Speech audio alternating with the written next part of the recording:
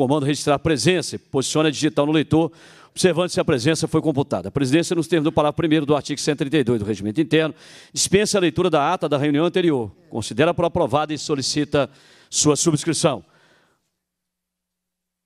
Sobre a mesa, parecer de redação final do projeto de lei 541-2023, de autoria do deputado Carlos Henrique, que declara de utilidade pública a Associação de Proteção e Assistência aos Condenados, com sede do município de Almenara.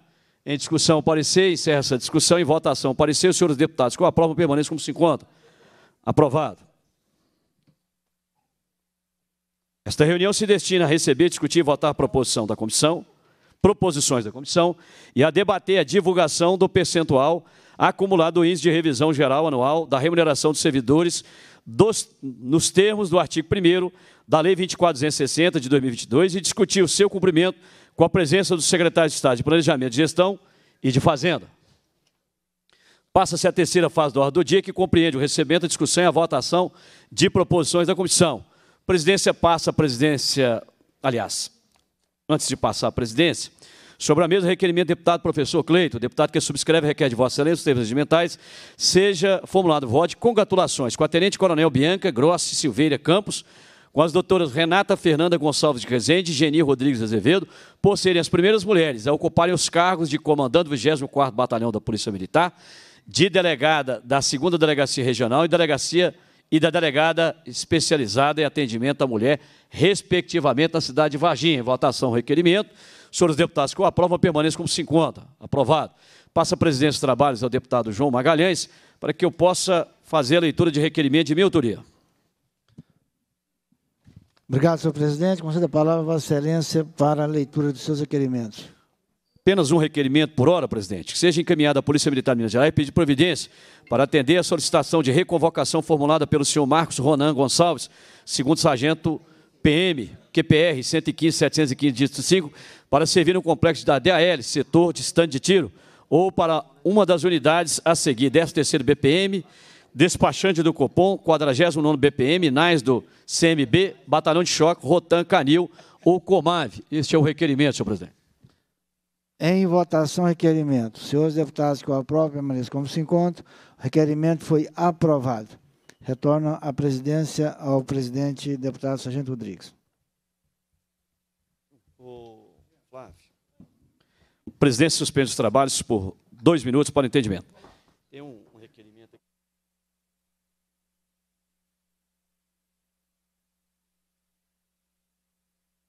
Bom dia, requerimento de sua autoria. Que João? Perguntei quem, mas. Coitado, você. Deputado que subscreve requer de Vossa Excelência os termos regimentais, em resposta ao ofício 40.059.2-2024, seja reiterado o requerimento de comissão 7131-2024, anexo, para comunicar ao Comandante-Geral da Polícia Militar de Minas Gerais os valores e respectivos objetos das indicações vinculadas à emenda impositiva deste parlamentar, no montante total de R$ 4.055.950, conforme lei orçamentária anual Lei 24678-2024. Ressalte-se, por oportuno, que incorre em crime de responsabilidade aquele que infringir patentemente, de qualquer modo, dispositivo da lei orçamentária, artigo 10, item 4 da lei 1079-50, combinado com os artigos 106, inciso 1, a linha B da Constituição Estadual de Minas Gerais. Assim diante, portanto, exposto, conto com o apoio dos pares. É só para reiterar um requerimento de comissão, deputado João Magalhães. Em votação, requerimento. Senhores deputados que o aprovam, permaneçam como se encontram. O requerimento foi aprovado. Retorno à presidência ao deputado Sargento Rodrigues. Obrigado, deputado João Magalhães. Passa-se, a presidência registra e agradece a presença dos deputados João Magalhães, professor Cleito e deputado Carlos Henrique, líder da maioria, e deputado João Magalhães, líder do governo. A presidência informa o deputado Carlos Henrique, nós acabamos de aprovar o projeto de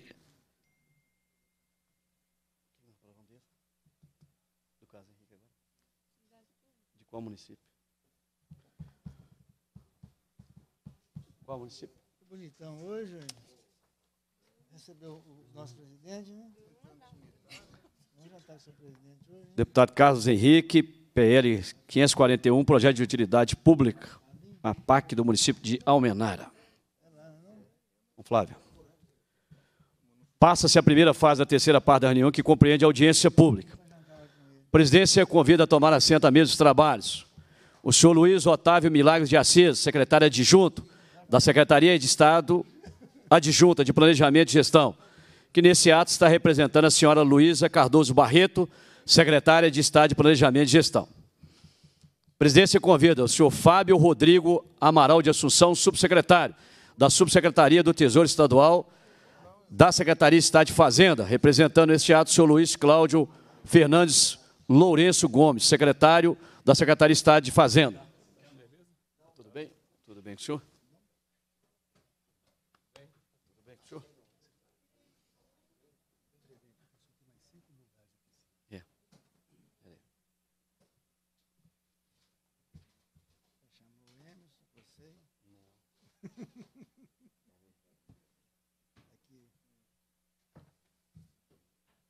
Hugo chegou aí?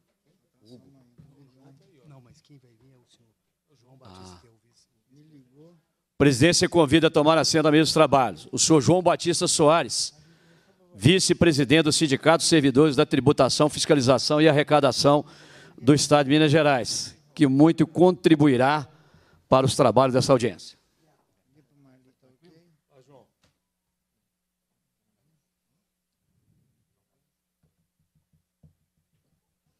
Presidência informa aos nossos presidentes de sindicatos e associações que, devido a, a, ao número reduzido, nós convidaremos uma parte, a outra parte entenda como aqui essa primeira fila como a extensão da mesa dos trabalhos. A presidência vai convidar para tomar assento à mesa dos trabalhos o senhor Michael André Santos, diretor de comunicação do Centro Social dos Cabos e Soldados da Polícia Militar de Minas Gerais a doutora Maria de Lourdes Camille, presidente do Sindicato dos Delegados da Polícia Civil de Minas Gerais. O senhor Emerson Silva de Oliveira, presidente do Sindicato dos Servidores da Polícia Civil do Estado de Minas Gerais. O senhor Jean Carlos Ottoni Rocha, presidente dos Sindicatos dos Policiais Penais do Estado de Minas Gerais. Deu. Deu. A presidência registra e agradece a presença dos seguintes presidentes, e que eu peço que tomem a frente aqui, ó, nessa primeira cadeira, se possam sentar aqui como extensão dos trabalhos. Da senhora Márcia Regina Rocha, diretora do Sindicato dos Peritos Criminais do Estado de Minas Gerais, representando o senhor Wilton Ribeiro de Salles. Do senhor Bruno Figueiredo Viegas, vice-presidente do Sindicato dos Escrivães de Polícia Civil do Estado de Minas Gerais do senhor Alexander Luiz da Paixão Ferreira, presidente da Associação Mineira dos Policiais Penais e Servidores Prisionais, a AMASP. Da senhora Aline Rise dos Santos, presidente da Associação dos Escrivães da Polícia Civil do Estado de Minas Gerais. Do tenente PM Josué Alves de Aragão, diretor da Associação Central Única dos Militares Estaduais. Do senhor José Lino Esteves dos Santos, presidente dos Sindicatos Auxiliares, Assistentes e Analistas do Sistema Prisional e Socioeducativo Registro agradece também a presença do senhor Eubedornas Pereira, vice-presidente da Associação de Criminalística do Estado de Minas Gerais, a SENG. Da doutora Cláudia Edna Calhau de Castro e Andrade, diretora da Associação dos Delegados da Polícia Civil de Minas Gerais. Nesse ato, representando a senhora presidente, a ex-colega deputada e delegada de polícia, doutora Elaine Matozinhos Ribeiro Gonçalves.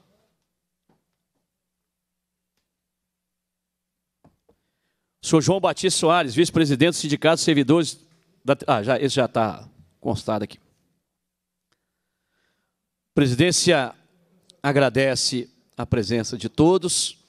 Queria agradecer a presença dos demais servidores que aqui também se encontram, os nossos queridos veteranos, veteranos da Polícia Militar, do Bombeiro Militar, da nossa Polícia Civil, aqueles que comparecem aqui mais uma vez mais uma vez para lembrar o governo que o governo continua devendo para a segurança pública.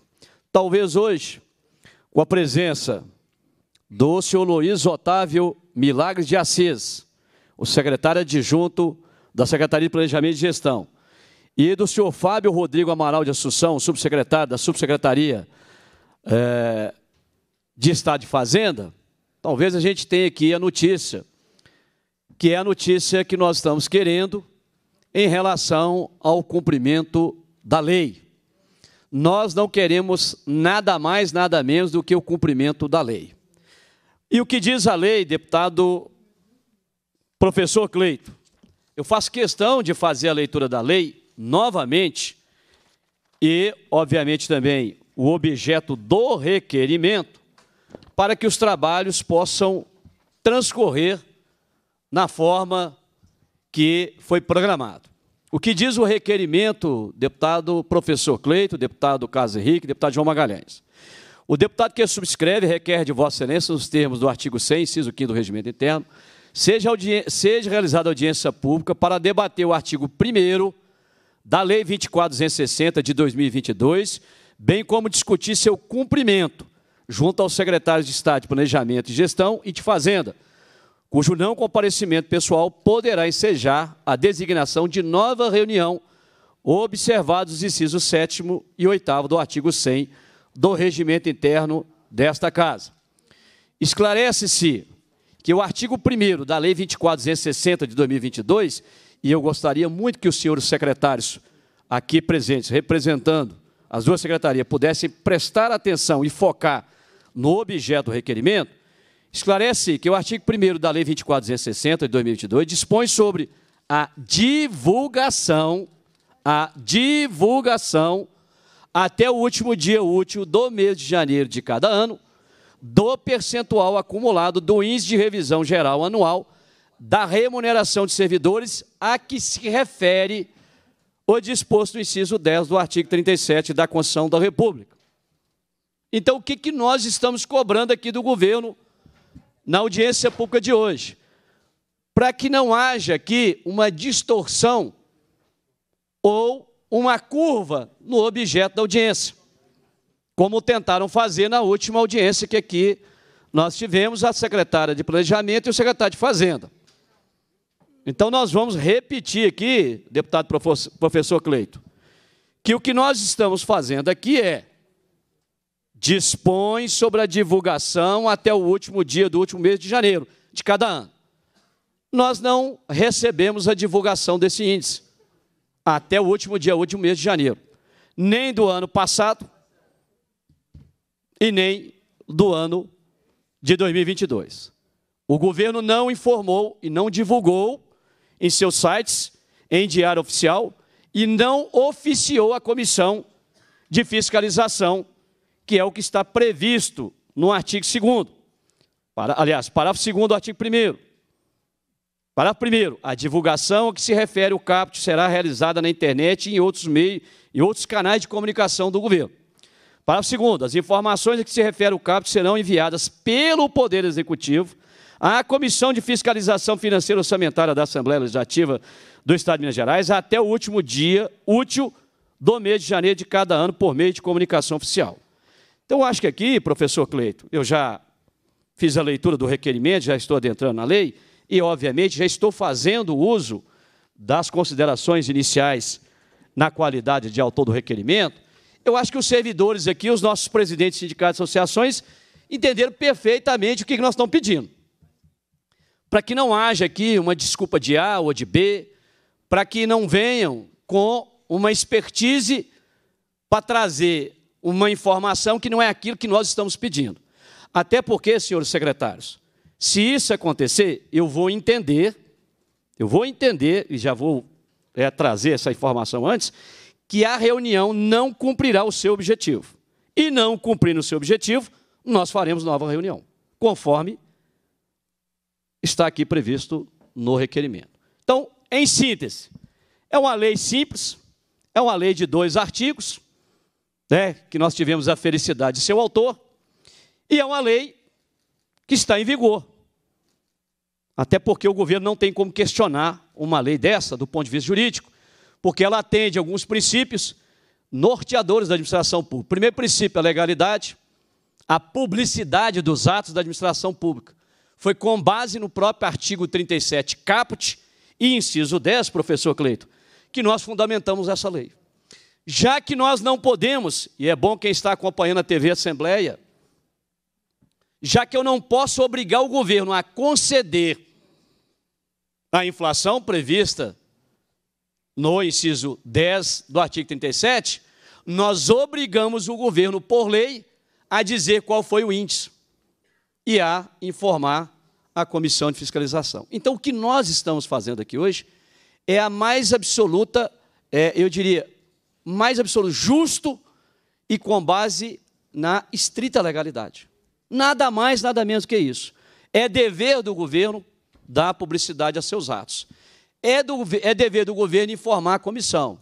Então, eu indago a qual dos secretários que desejam fazer uso da palavra em primeiro lugar. Senhor presidente. Pois não, deputado. Passo, passo a palavra ao deputado João Magalhães. Obrigado, senhor presidente. Deputado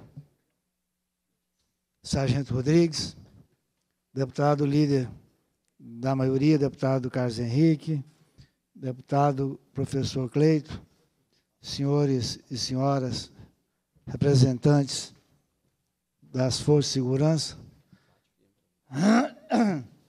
Senhor presidente, em nome do governador Romeu Zema, como já antecipamos na última semana na Comissão de Educação, o governador cumprirá integralmente a lei e vai fazer a reposição integral do IPCA de 2023 de 3,64% retroativo a 1 de janeiro. O governo vai enviar nos próximos dias o projeto de lei que será votado aqui na casa junto com todas as categorias, Ministério Público, Defensoria Pública, Tribunal de Contas, Assembleia, Tribunal de Justiça, que são as reposições salariais da perda, da perda não, do índice inflacionário de 2023. Então, nos próximos dias, está chegando aqui o projeto de lei autorizativo e também de todas as categorias, conforme já anunciei anteriormente. Obrigado, senhor presidente. Agradeço a ilustre líder de governo.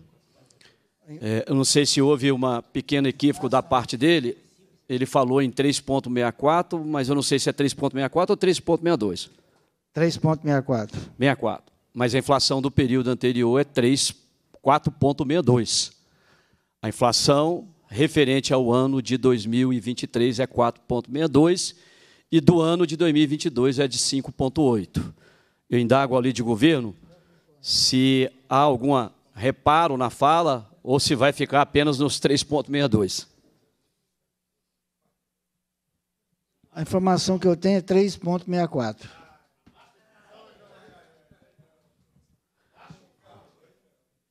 Bom. Qual foi o índice? Não.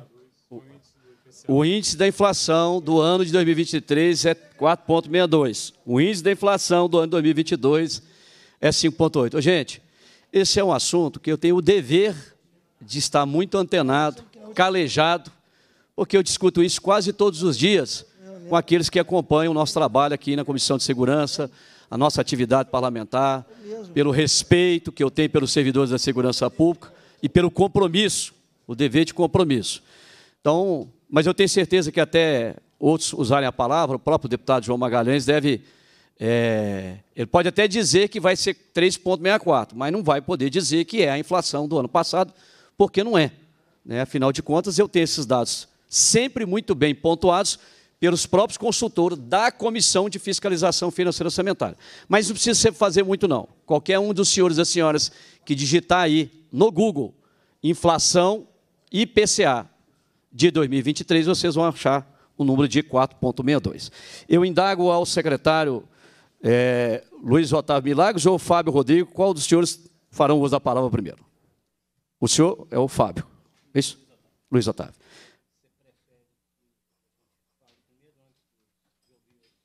Não, eu prefiro que os senhores, né, que o senhor, o senhor fale primeiro. É, Fábio Rodrigo Amaral de Assunção. O senhor disporá de até 10 minutos para a intervenção do senhor. Desculpa, é porque eu não, não conheço os dois, assim, eu não estou familiarizado com a fisionomia. O senhor Luiz Otávio Milagres de Assis, secretário adjunto da Secretaria de Planejamento e Gestão, CEPLAG. o senhor disporá de até 10 minutos para intervenção, mas alerta o senhor no objeto do requerimento que aqui nós pedimos. O senhor tem a palavra. Boa, boa tarde a todos e todas. É, boa tarde, deputado Sargento Rodrigues, autor boa tarde. É, do pedido que gerou essa reunião. Boa tarde, deputado João Magalhães. Boa tarde, deputado Carlos Henrique, deputado professor Cleiton. Mas, fundamentalmente, queria cumprimentar cada representante aqui das forças de segurança é, que realizam um trabalho tão importante é, em Minas Gerais. Eu queria iniciar é, agradecendo e especialmente reconhecendo o trabalho que as forças de segurança, que os profissionais das forças de segurança é, desempenham aqui no Estado de Minas Gerais. É, quem estuda é, segurança pública é, sabe que tão importante quanto os índices de criminalidade é a sensação de segurança da população. E pelo mérito de vocês, que no dia a dia têm a coragem, o esforço e o desempenho nas suas atividades, Minas Gerais é hoje referência nacional em nos índices de criminalidade, mas também na sensação de segurança da população. É, isso é mérito do esforço, da coragem e do brio dos policiais que estão no dia a dia defendendo a população e gerando melhores condições de segurança. Só para citar, só para citar é, uma rápida informação e vou chegar no mérito da audiência, deputado Sargento Rodrigues, pode ficar tranquilo que eu vou responder de forma clara a sua é, pergunta só para trazer dois números, né?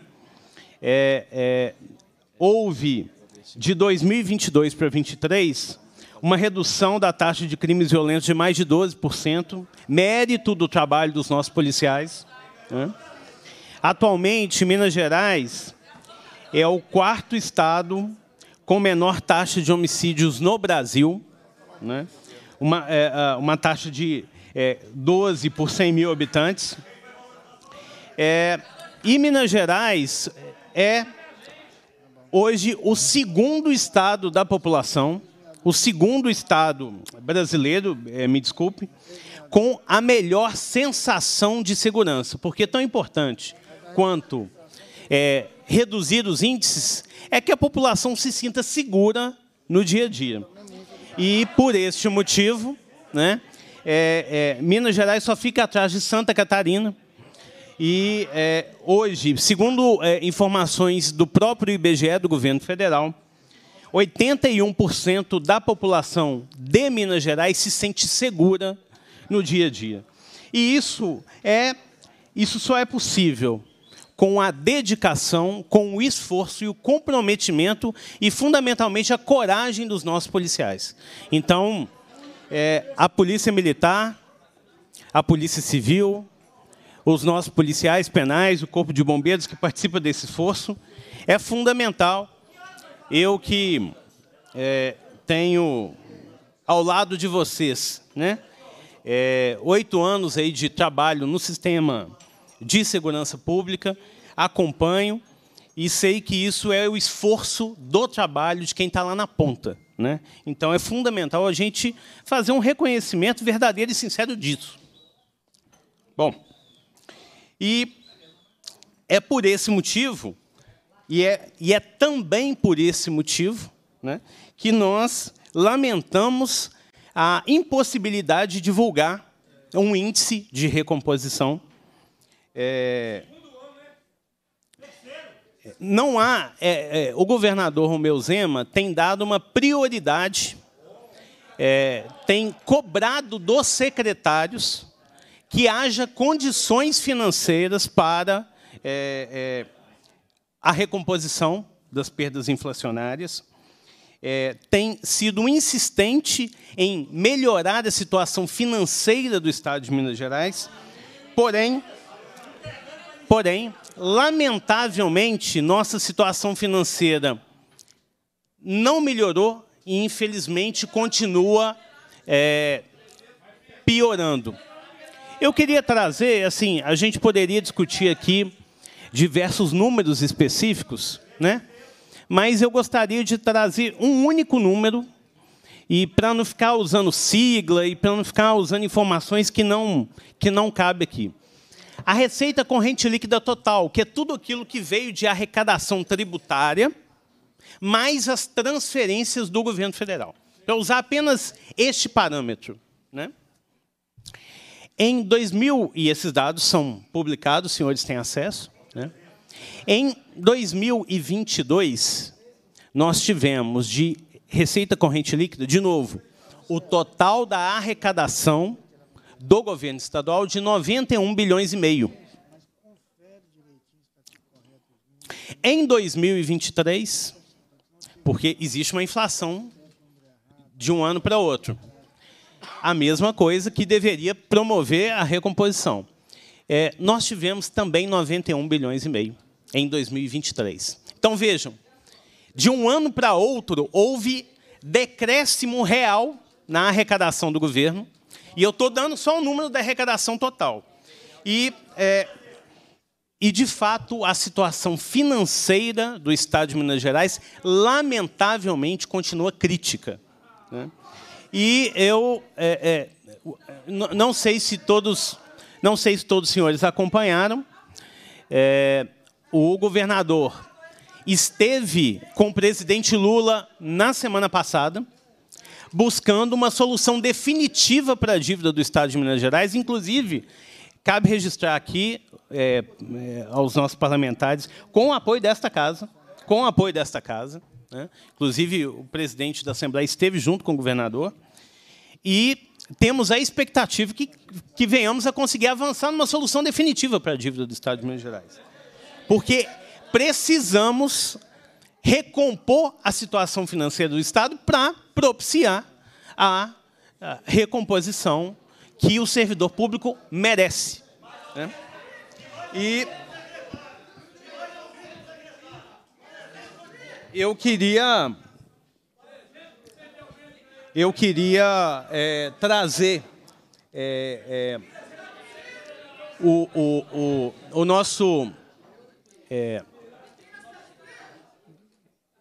nós, portanto, é, dizer em, em, resposta ao valor, ao, ao, ao, requerimento específico que o deputado Sargento Rodrigues nos trouxe, né, da divulgação é, até é, o deputado João Magalhães está nos trazendo informações, é, mas que, com relação à lei propriamente dita, deputado Sargento Rodrigues, a 24260, que nos dá o prazo de janeiro para a divulgação, que é, não, não houve condições de fazê-lo, não houve condições de fazê-lo pela situação fiscal secretário, do Estado Secretário, por favor, continue no microfone.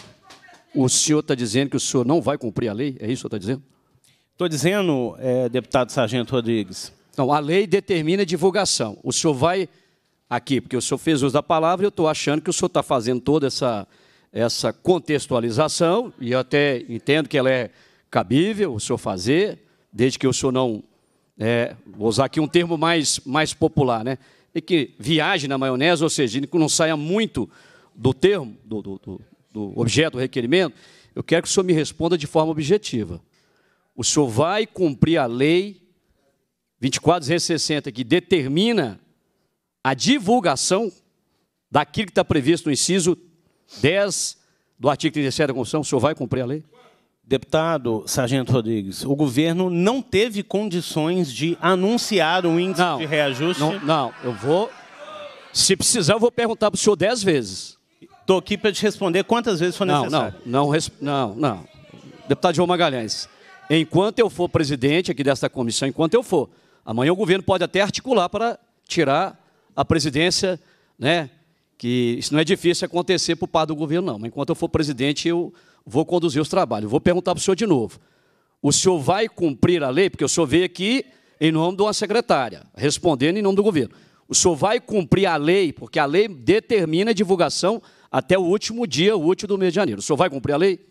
Não havendo condições para conceder ou para anunciar qualquer tipo de recomposição até o final de janeiro, o governo não teve condições de anunciar um reajuste. Um, não, o senhor uma continua sem responder.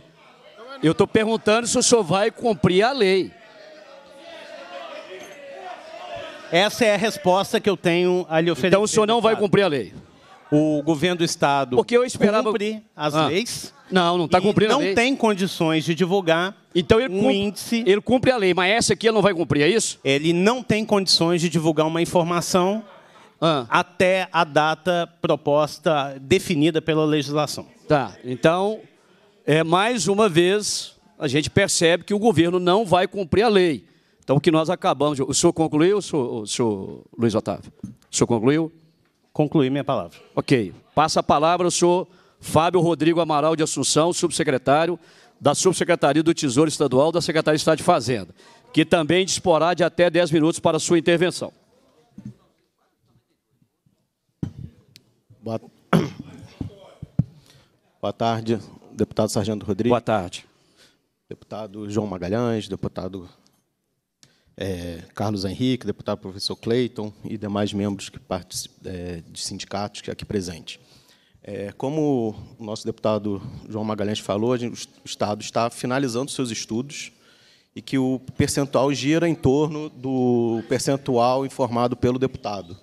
Nós ainda não finalizamos esses estudos do impacto, então, por isso, a gente ainda não pode é, informar qual será o índice de reajuste conforme previsto na lei.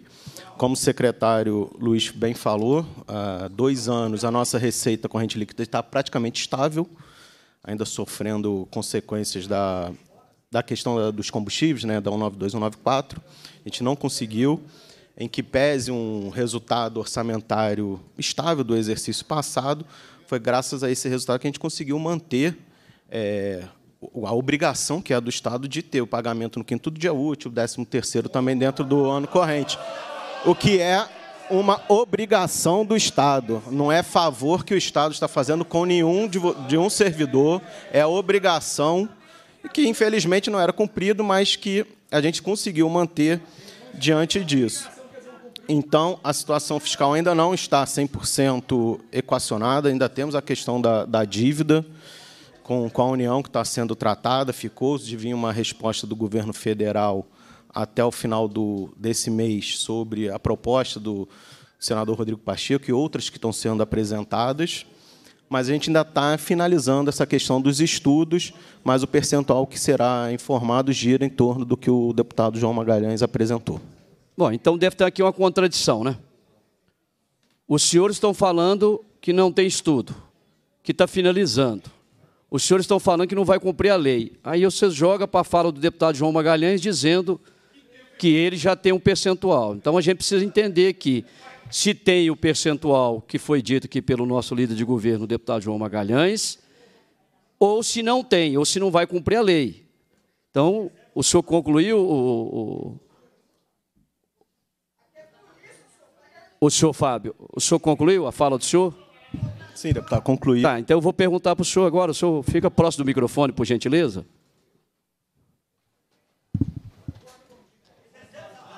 Não foi por um acaso que eu fiz questão de fazer a leitura da lei e vou fazer a leitura da lei para o senhor novamente. Lei 24260, de 26 de 12 de 2022. Dispõe sobre a obrigatoriedade de divulgação pelo Poder Executivo do percentual acumulado do índice de revisão geral anual da remuneração dos seus servidores. O povo do Estado de Minas Gerais, por seus representantes, aprovou e eu em seu nome, nos termos do parágrafo 8 do artigo 70, faça a promulgação desta lei. Artigo 1 O Poder Executivo divulgará até o último dia útil do mês de janeiro de cada ano o percentual acumulado do índice de revisão geral anual da remuneração de seus servidores, a que se refere o disposto no inciso 10 do artigo 37 da Constituição da República, relativo ao exercício anterior. Parágrafo 1 A divulgação a que se refere o CAP será realizada na internet e em outros canais de comunicação. Parágrafo 2 As informações a que se refere o CAPT serão enviadas pelo Poder Executivo à Comissão de Fiscalização Financeira Orçamentária da Assembleia até o último dia útil do mês de janeiro de cada ano por meio de comunicação oficial. Senhor Luiz Otávio, os senhores cumpriu essa lei? É, conforme eu lhe falei, deputado. Não, peraí, peraí. Eu, sim, eu, eu, posso responder? Não, não, peraí, peraí, peraí. Não, tudo bem. É, é porque eu estava perguntando é por. Fábio. É por Fábio. Então me perdoe de novo. Me perdoe de novo, é porque eu não estou acostumado com a fisionomia de quem que é o nome. Me desculpe. É o Fábio, não é isso? Senhor Fábio Rodrigo Amaral de Assunção. O senhor vai cumprir essa lei? Como dito pelo secretário Luiz Otávio, até o final do mês de janeiro não foi possível o Estado publicar o índice de, de recomposição, porque ainda não tem finalizado os estudos. Janeiro, o senhor falou janeiro. Mas nós já estamos hoje no dia 11 de março, já passou Como... mais de 40 dias do final de janeiro. Então, como foi falado pelo deputado João Magalhães, estamos finalizando os estudos do percentual de não. recomposição que será. É, é, é, eu, eu não chamei aqui. É, o deputado João Magalhães é deputado, tem assento, ele tem direito à fala, voto, e aqui, nessa comissão, todos os parlamentares são muito respeitados. Todos são muito respeitados, mas de forma especial os parlamentares que têm as prerrogativas são respeitadas. Mas eu chamei o governo para dar a resposta, porque é, se fosse para chamar o deputado, eu sentava ali com o deputado, ia no gabinete dele, ligava para ele e falou: Olha, ô deputado, vim aqui, você tem algum tipo de informação para a gente repassar? Pois sabe por quê, é, senhor Fábio Rodrigo? O governo está fazendo os servidores da segurança pública de palhaço, de trouxas, de palhaços. Então, isso não é possível. A gente tem uma lei em vigor. Essa lei, não, ninguém, o governo não teve coragem de arguir a inconstitucionalidade dela, porque sabia que ia quebrar a cara. Sabia. Eu, quando fui fazer curso de direito, quando fui ser advogado, eu fui como pai de família, como alguém que estava lá estudando e aprendendo e muito. Eu não fui lá fazer um curso meia boca, não. Então, o que eu estou cobrando dos senhores aqui está previsto no regimento interno e está previsto na Constituição do Estado. Me presta aqui a Constituição do Estado. Eu, por gentileza, abra ela no artigo 73, que talvez a gente fazendo a leitura aqui do que fundamenta essa comissão, o requerimento, a audiência pública, vocês vão entender um pouco melhor. É, é, é dever meu, enquanto deputado, de exercer controle sobre os atos do Poder Executivo. E aqui o artigo 73, inclusive, diz que é um algo que nós vamos precisar, inclusive, legislar sobre ela para regulamentar, sobre a propaganda enganosa que o governo faz. Porque o senhor Luiz Otávio Milagres aprendeu direitinho a propaganda enganosa aqui. Ele vem repetindo aquilo que o Zema repete. Ah, porque é melhor segurança, porque é melhor isso. Tá. Isso nós já sabemos, vocês não precisam falar para nós, não. Isso aqui só tem polícia aqui dentro. Ó. Todo mundo que está aqui é polícia inclusive o deputado que vos fala. Então, o que diz o artigo 73? Da fiscalização e dos controles, Constituição do Estado, viu gente? A sociedade tem direito a governo honesto, obediente à lei eficaz. Que obediência ostentando pela lei? Vocês vão simplesmente fingir que a lei não existe? É isso que vocês estão querendo fazer aqui em plena audiência pública? Transmitida ao vivo pela TV Assembleia? Fingir que a lei não existe? A sociedade tem direito a governo honesto, obediente à lei eficaz. Está aqui no caput. É o caput do artigo 73. Bom, mas vamos lá onde nos interessa. Vamos lá no artigo, no parágrafo 2 É direito da sociedade manter-se correta e oportunamente informada de ato, fato ou omissão. Omissão, tá aí omissão, imputáveis a órgão, agente político, servidor público ou empregado público que tenha o resultado ou possa resultar. Um, ofensa à moralidade administrativa, ao patrimônio público e aos demais interesses legítimos, coletivos e difusos. Dois, prestação de serviço público insuficiente, tardio ou inexistente. Propaganda enganosa do poder público. O que o Zema usa, o seu Instagram, o seu TikTok, o seu Twitter, para dizer que a segurança pública é melhor do país, e na hora de cumprir a lei, e na hora de ser obediente à lei, Aí não pode? Não deve? Inciso 4. Inexecução, execução insuficiente ou tardia de plano, programa ou projeto de governo de programas e projetos priorizados em audiências públicas. Olha, ofensa a direito individual coletivo consagrado nessa Constituição. Nessa Constituição, no seu artigo 24, prevê o mesmo dispositivo do artigo 37, que é a revisão geral anual. Ou será que é eu que interpreto isso aqui diferente? Não é possível. Eu vou repetir pela última vez, senhor Fábio Rodrigo Amaral. Essa lei está em vigor. O senhor vai cumprir a lei ou o senhor vai descumprir a lei? Então, logo os estudos forem finalizados, o índice de recomposição será divulgado. Tá. Então, o que vale? A fala do senhor e a fala do senhor Luiz Otávio? Ou é a fala do deputado João Magalhães? Qual que vale? Então, logo os Não, agora eu estou perguntando para o senhor. Estou complementando a minha que que resposta. Vale? Então, logo os estudos forem finalizados, o índice será publicado okay. de, no, no, no valor, no, em valores aproximados ao que foi divulgado pelo deputado. Ok. Ah, bom. Então vamos dar, vamos, vamos dar sequência, vamos dar sequência à audiência pública. Vamos, vamos dar sequência à audiência pública. O senhor está pronto? Está pronto? Então vamos pedir aqui o senhor. Vamos continuar aqui a audiência, porque a gente não pode só ouvir só os secretários, né? Vamos ouvir aqui o senhor João Batista Soares, já que o secretário falou de receita, falou de arrecadações, falou de uma série de, né, de contextualizou a fala dele para dizer que não ia cumprir a lei. Eu só quero alertar os senhores que os senhores, os senhores, os senhores dois, estão incorrendo em crime de responsabilidade. Os dois. Só quero deixar isso aqui consignado. Os senhores estão incorrendo em crime de responsabilidade. Então, se amanhã receberem alguma intimação do MP para ser ouvido em crime de responsabilidade, saibam que foi a Comissão de Segurança Pública que provocou para que os senhores possam ser ouvidos, até para que vocês possam respeitarem a lei. Passo a palavra para suas considerações. Aí, antes de passar a palavra, registro e agradeço a presença do nosso colega deputado. Senta aqui, senta aqui. Oi? Ah, não. Ah, tá certo. O deputado federal Pedro Ayrara, que muito nos alegra com a sua preguiça, com a sua presença. Perdão. É porque dá uma, dá uma preguiça você ouvir o, o, o embromeixo. O, o embromeixo dá uma preguiça danada. O cara está aqui. É, e aí você tem aí tantos anos de janela, você está vendo que o cidadão está querendo embromar, embromar, embromar, embromar, para não dizer nada. Então, dá preguiça. Me perdoe aí. Passo a palavra ao senhor João Batista Soares, vice-presidente do Sindicato de Servidores de Tributação, Fiscalização e arrecadação do Estado de Minas Gerais.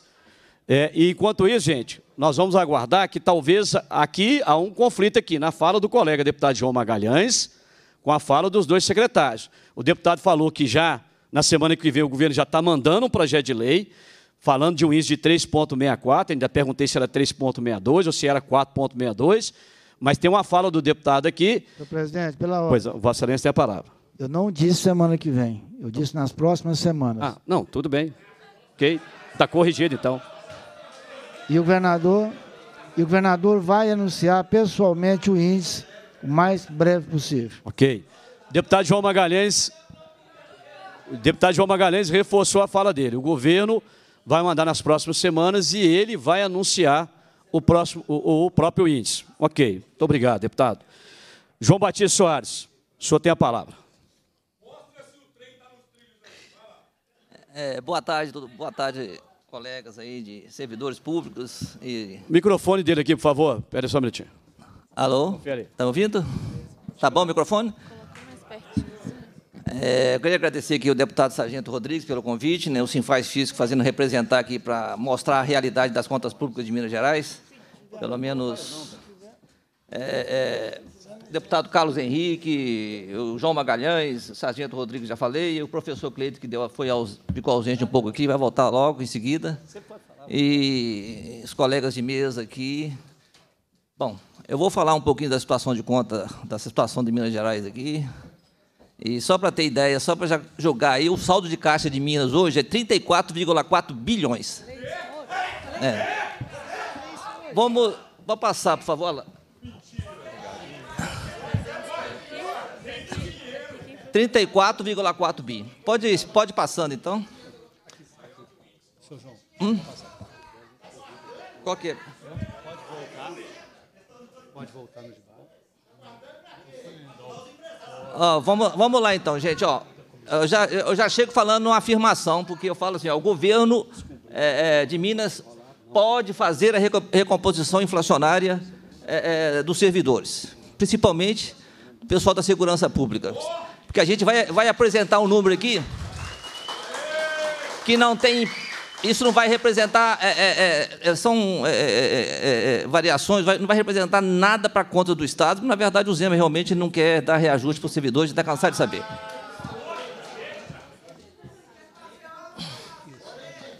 Ó, ficou meio, meio ruim lá, mas ó, eu vou colocar primeiro aqui, gente, a questão da despesa de pessoal, né? O que está sendo de Minas Gerais? Que tá, no último relatório de gestão fiscal que saiu agora em, em, em fevereiro de 2024, referente ao ano de 2023, né? A, a, o pessoal ativo representou 29,9 bi. Ele está lançando também o pessoal inativo lá na conta de despesa de pessoal de 22,29 bi, além de, de pensionista de 4,5 eh, bi ou seja, embora tenha feito a reforma, reforma previdenciária, ele continua lançando despesas de aposentados e pensionistas na conta lá, como se fosse ativo. É, é, ele, desconta, ele desconta também no valor lá, é, é contribuições vinculadas, para descontar um valor lá, aí desconta 9,5 bi. Mas, no final das contas, fica, ele lança 16 bi de, de, de aposentados e pensionistas na conta, como se ativo fosse.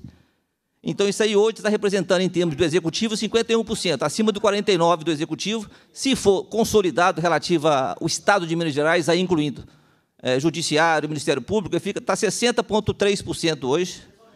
Então, igual disse, mas incluindo contas de, de despesas de pessoal, pessoal aposentado e pensionista. É, ele, ele, ele, não podia, mas ele é, conseguiu eliminar e está divulgando dessa forma. Antigamente, existia uma, existia uma decisão do TCE que obrigava ele a divulgar é, é, só somente dos ativos. Né? Aí ele conseguiu eliminar e hoje excluiu essa divulgação, só divulga esse incluindo, incluindo as despesas com o pessoal aposentado e inativo.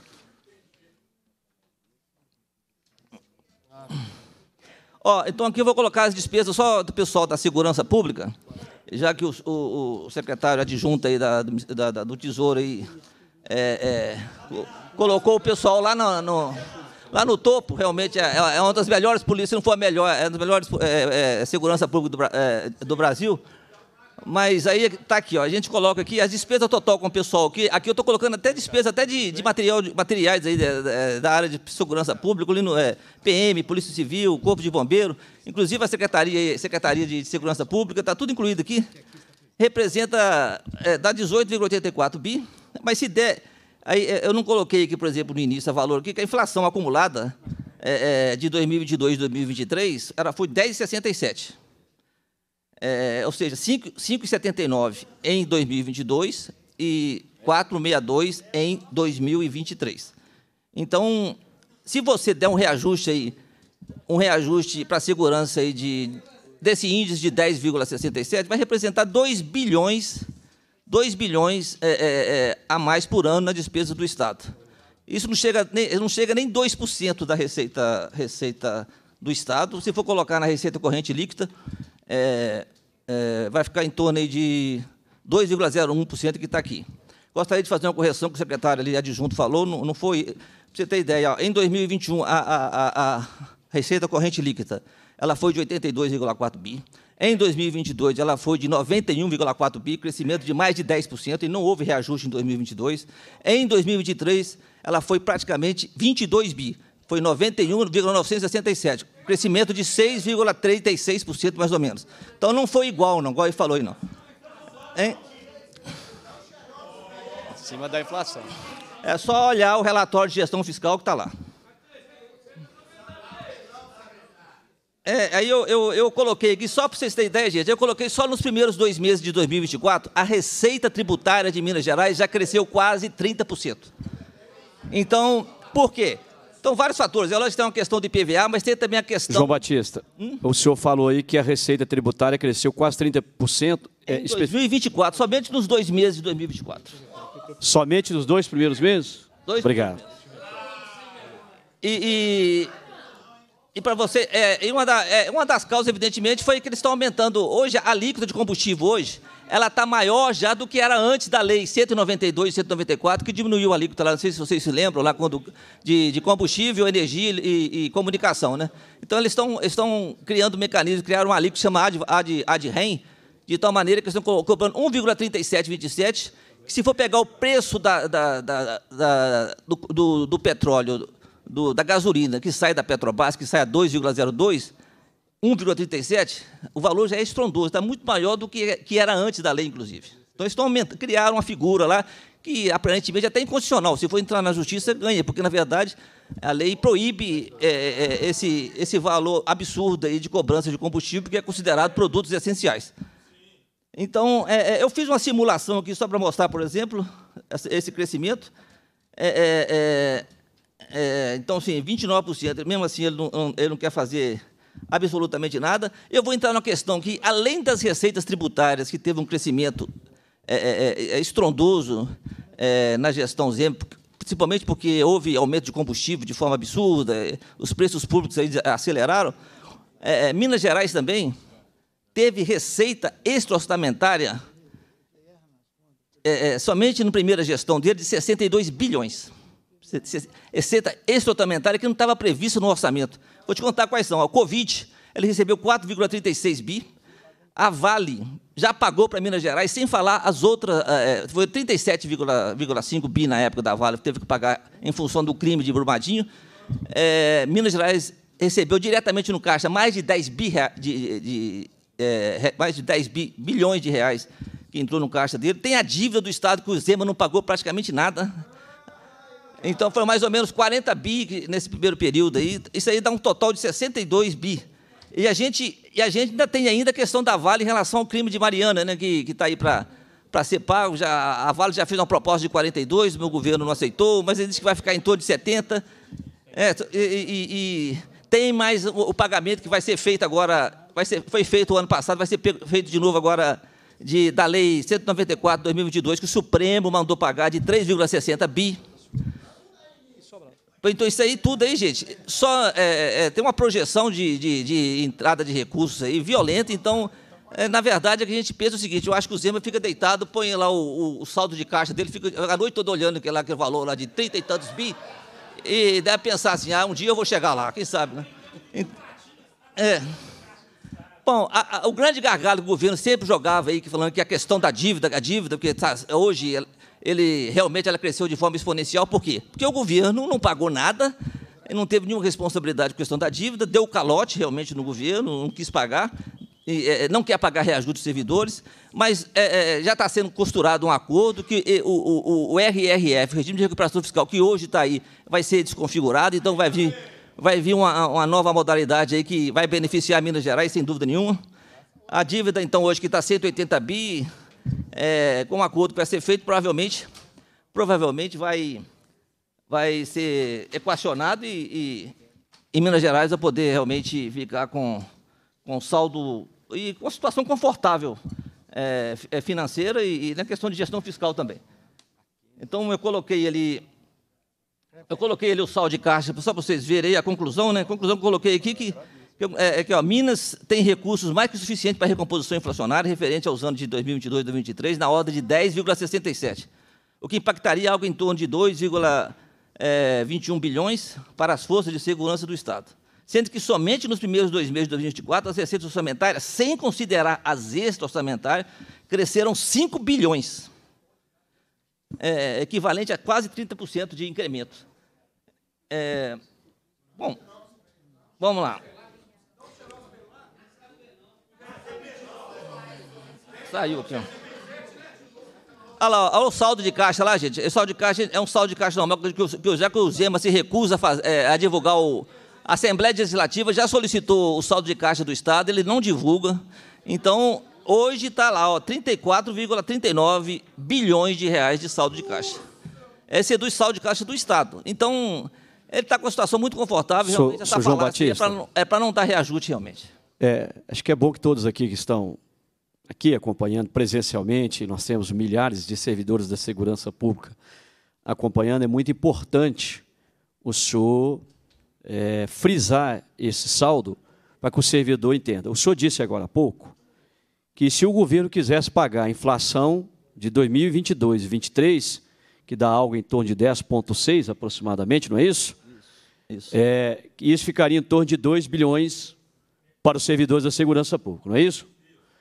E quanto é que o governo tem em caixa hoje que ele poderia utilizar para esse reajuste? Ou para essa recomposição de inflação, desculpa? É, o saldo de caixa hoje, que chama saldo de caixa e equivalente, que são as aplicações financeiras de curto prazo, está 34,39 bilhões. Bom, então, para quem está nos assistindo pela TV Assembleia, para quem está nos acompanhando, 2 bilhões ele conseguiria dar a inflação de 22 e 23 para toda a segurança pública com um aporte de recursos de 2 bilhões. E, no entanto, hoje ele tem livre em caixa 34 bilhões de reais é o que ele tem em caixa. Porque muitas vezes, João Batista, eu, está aqui os presidentes de sindicatos, parte à mesa e parte aqui na extensão da mesa, a gente fala para o nosso pessoal participar das mobilizações, das reivindicações, e muitos ainda se relutam em vir para a luta, participar, para ajudar a cobrar do governo. Mas essa fala do senhor é muito importante, ou seja, o governo tem 34 bilhões em caixa, ao passo que, mesmo tendo 34 bilhões em caixa, não disponibiliza 2 bilhões para pagar sequer parte daquilo que ele deve. Porque hoje a perda inflacionária é da ordem de 41%, e se ele pagasse a inflação de 22 e 23, ele pagaria 10,6. Ou seja, nem isso o governo, né? Inclusive, o governo federal, o professor Cleito deve falar isso mais adiante, em matéria aqui do jornal Estado de Minas, professor Cleito, ele diz que só pode estar guardando dinheiro para, né? Ficou desconfiante de que o governo Zema faz caixa e guarda o recurso para ser gasto em obra no último ano de sua gestão. Está aqui. Então, talvez seja essa a conclusão, deputado, Pedro Ayrara, que a gente chegue aqui com a fala do senhor João Batista. O senhor pode concluir, por favor. É isso, e, e- esse raciocínio faz sentido porque é, o saldo de caixa ele vem, man- é, ele vem mantendo essa ordem de 30, 34, né? aí chega no final do ano realmente há uma queda, ele, aí ele cai para cair para 22, 23 bilhões. Esse é o saldo geral de caixa do Estado, evidentemente, né? Porque aí ali tem valores ali que ele guarda também, igual do Fundeb, que tinha que pagar para o professor, não pagou, guarda lá no cantinho, fica lá escondidinho para usar não sei como depois. Então, é por aí. Então, ele realmente, chega em final de ano, por exemplo, ou época de eleição, esse, esse caixa ele, ele sofre um, um, um fluxo negativo violento. Ok, agradecemos as intervenções iniciais do senhor eh, João Batista. Eu vou passar a palavra agora ao deputado professor Cleito e depois, em seguida, ao colega deputado, deputado federal Pedro Arrara. Com a palavra, o deputado professor Cleito para as suas intervenções também iniciais. O senhor tem a palavra. Presidente, boa tarde. Boa tarde. Seu nome, cumprimentar aqui os deputados João Magalhães, Carlos Henrique presentes, deputado Pedaiara, uma honra tê-lo aqui conosco nessa tarde. Eh, em nome do João, quero cumprimentar todos aqueles que eh, foram convidados para participar dessa mesa, mas de forma muito especial a todos os servidores e servidoras da segurança pública do Estado de Minas. A minha reverência, meu agradecimento e, acima de tudo, em nome de toda a população mineira, muito obrigado pelo que vocês fazem, pelo que vocês representam. Mas não adianta só ficar falando, nós temos a melhor segurança pública do país, a melhor segurança pública do país, se isso não se reverter em valorização concreta. E quando a gente fala de valorização concreta, nós estamos falando daquilo que é o mínimo que se pode fazer, que é a recomposição das perdas inflacionárias, que aquilo que existe, exige a Constituição Federal. Deputado Sargento Rodrigues, é até complicado falar depois do João. É, Para quem não sabe, o João, é, que representa aqui um dos sindicatos, que é, talvez seja aí para nós o sindicato mais importante em termos de números, que é o Sinfasfisco, e que nos alimentou o tempo todo com informações precisas e importantes na luta e enfrentamento ao regime de recuperação fiscal, o João tem é, mestrado no Canadá em administração pública. É, quem, quem, quem, disse isso aí? Quem, seu nome? O Walter. Ah, olha para você ver, Walter. Obrigado pela sua fala aqui. Eu estou te agradecendo de coração. Sabe por quê? Quando você diz assim, leva ele para o governo, quem estava na fazenda era o senhor Gustavo Barbosa. E quando houve a notícia de demissão do seu Gustavo Barbosa, cresceu a esperança de que a gente teria algo diferente no governo. E aí se troca seis por meia dúzia, colocando como secretário alguém que, como o seu Gustavo Barbosa, é indiciado no Rio de Janeiro e foi alvo é, de uma CPI da Operação Delaware, que foram responsáveis por quebrar a Rio Previdência é, são esses que foram escolhidos para vir para Minas Gerais. Então, essas pessoas, essas pessoas que quebraram a previdência pública do Estado do Rio, hoje, deputado Pedro, são as pessoas que fazem a gestão fazendária em Minas. A, se não tiveram compromisso lá no Rio, se conduziram o Estado do Rio à falência, aderindo ao regime de recuperação fiscal, o que, que vieram fazer aqui? E eu repito as palavras que eu disse um dia para um deputado que me questionou o seguinte: professor, é, mas que, que, tem a ver o que aconteceu no Rio com o que aconteceu em Minas? E eu perguntei para esse deputado, deputado Sargento Rodrigues, você tem filho pequeno?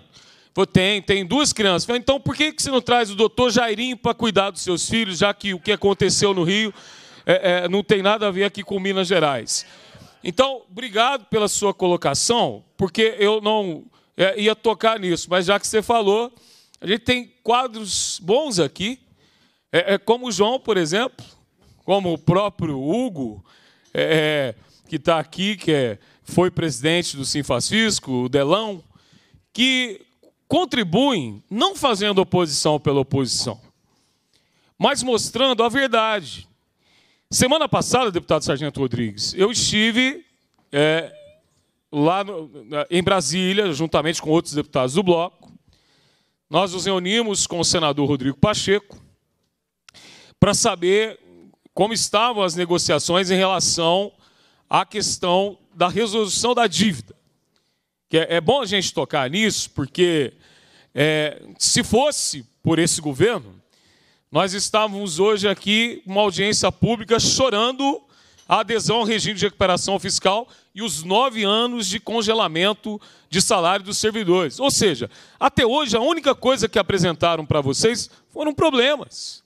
É. Nenhuma solução. Não fosse a atuação do presidente dessa Comissão de Segurança Pública, de outros deputados aqui nessa casa, a tragédia seria pior ainda. E depois que nós saímos do senador Rodrigo Pacheco, João, nós fomos ao Ministério da Fazenda e nos reunimos com a Secretaria do Tesouro Nacional. Aí, deputado Sargento Rodrigo, o senhor precisa ouvir isso aqui. Quando nós mostramos para a Secretaria do Tesouro Nacional esse dado, que está diariamente disponibilizado no site do Sinfasfisco, através do que se chamou é, de uma forma muito criativa de mentirômetro, nós descobrimos que os dados que se tinha de Minas lá era muito diferente do que foi apresentado pelo governo.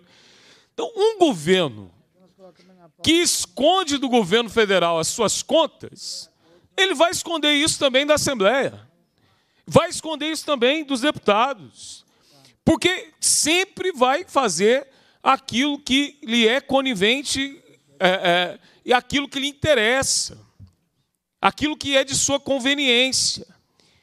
Mas a sorte é que nós temos é, pessoas como João, pessoas aí é, é, que analisam os dados, para apresentar esses 34 bilhões, 34,4 bilhões, que aí o argumento da Fazenda, do, da, do, da Secretaria de Planejamento, ah, mas vocês não estão levando em consideração os restos a pagar.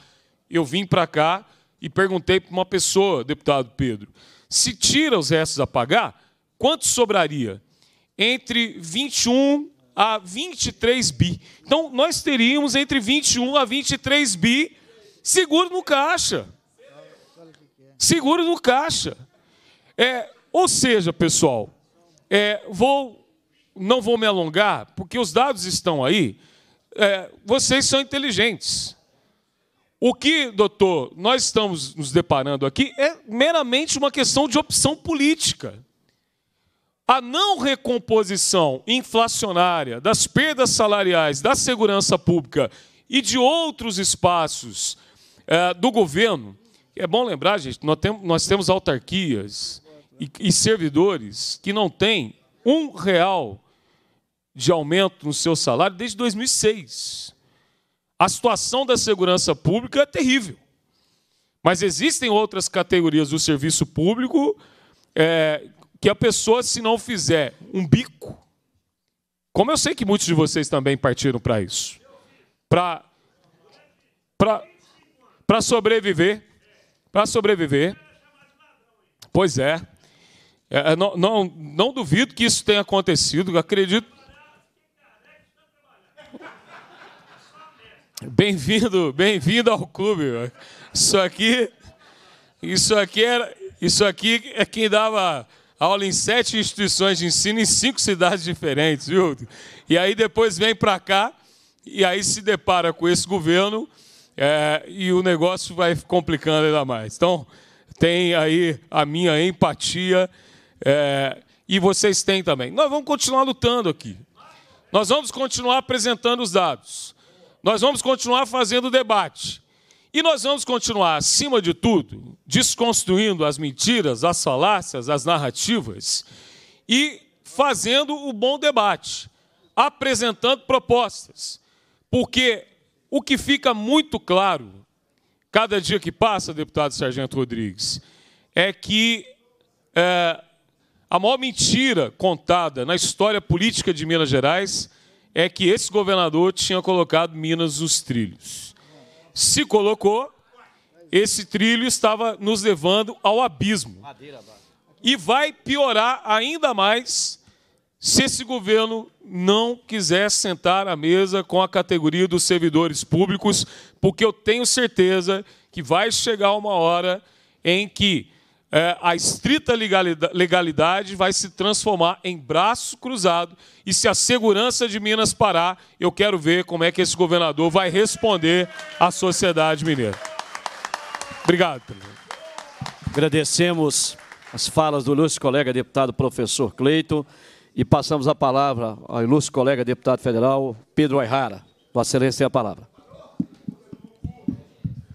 Cumprimentar aqui a todos presentes, inicialmente na pessoa do deputado Sargento Rodrigues, que preside essa sessão. Cumprimentar também nosso deputado professor Cleiton, que acabou de fazer uso da fala, nosso deputado João Magalhães, deputado Carlos Henrique também, todos os demais representantes aqui dos sindicatos, das nossas forças, das nossas corporações, da segurança como, pública como um todo e todas aquelas pessoas que nos acompanham.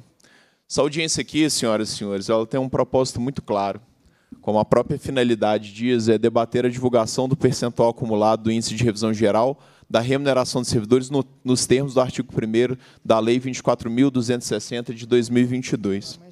O que, que a Lei 24.260? Ela diz basicamente que o Poder Executivo divulgará até o último dia útil do mês de janeiro de cada ano o percentual acumulado do índice de revisão geral anual da remuneração de seus servidores, em cumprimento ao que está lá no artigo 37, no dispositivo 10 é, da nossa Constituição Federal.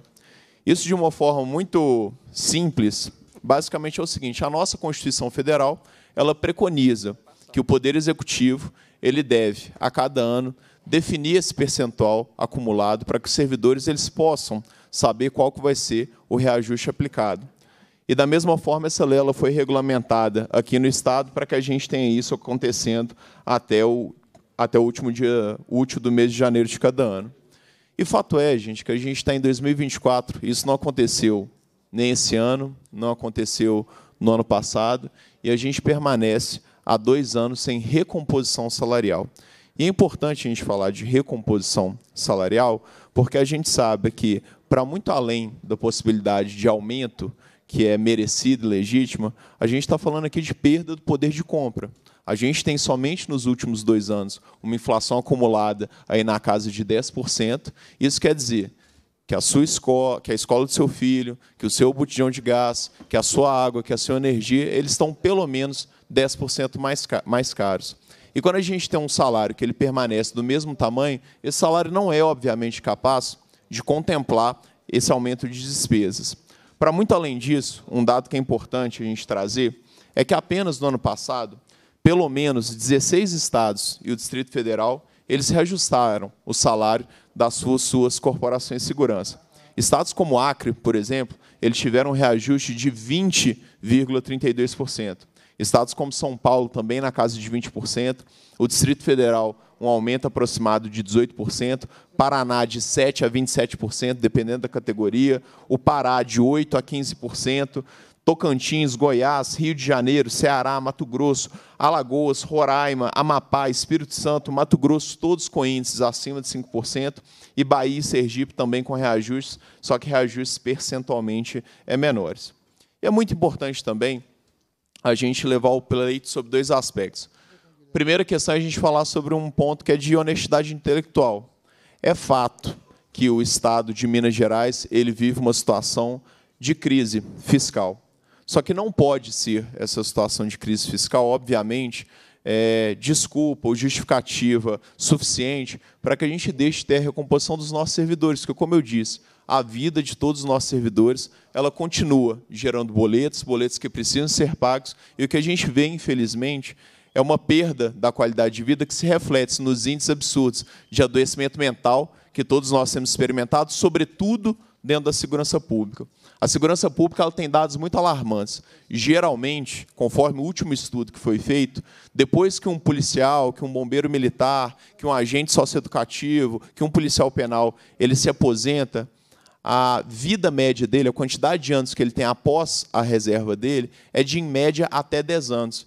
Quer dizer, então, que o nosso policial, se ele vai para a reserva, por exemplo, com 50 anos, com 45, com 55, ele acaba morrendo antes. Morrendo por quê? Por boa parte de situações que ele acabou tendo contato, acabaram se agravando durante o período que ele esteve ali na ativa. Uma vez que todos nós, enquanto profissionais de segurança pública, nós estamos expostos a uma série de riscos, não só biológicos, relacionados à própria profissão, de contágio de doenças, de acidentes. Então, o que a gente tem pedido, desde o ano passado, de maneira muito respeitosa e muito justa, é justamente para que o nosso governo estadual ele possa reconhecer isso e traduzir isso por meio de uma medida efetiva, por meio da nossa recomposição salarial.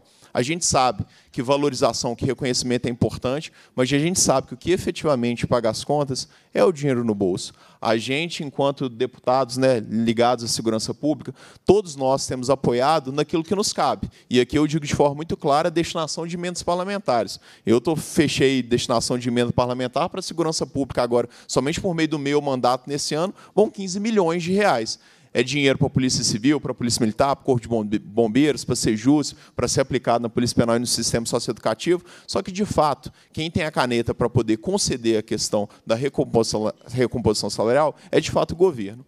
E aí, dentro disso, é importante a gente falar sobre uma questão do ponto de vista de honestidade. É fato, e aqui eu não estou falando sobre questão de defender lado A ou B, que o governo anterior ao atual governo, ele destruiu as nossas contas públicas. É verdade também, é importante a gente reconhecer isso, que o governo anterior, a gente sequer, a gente recebia no dia que a gente deveria receber, mesmo sendo uma obrigação, e isso está colocado em lei.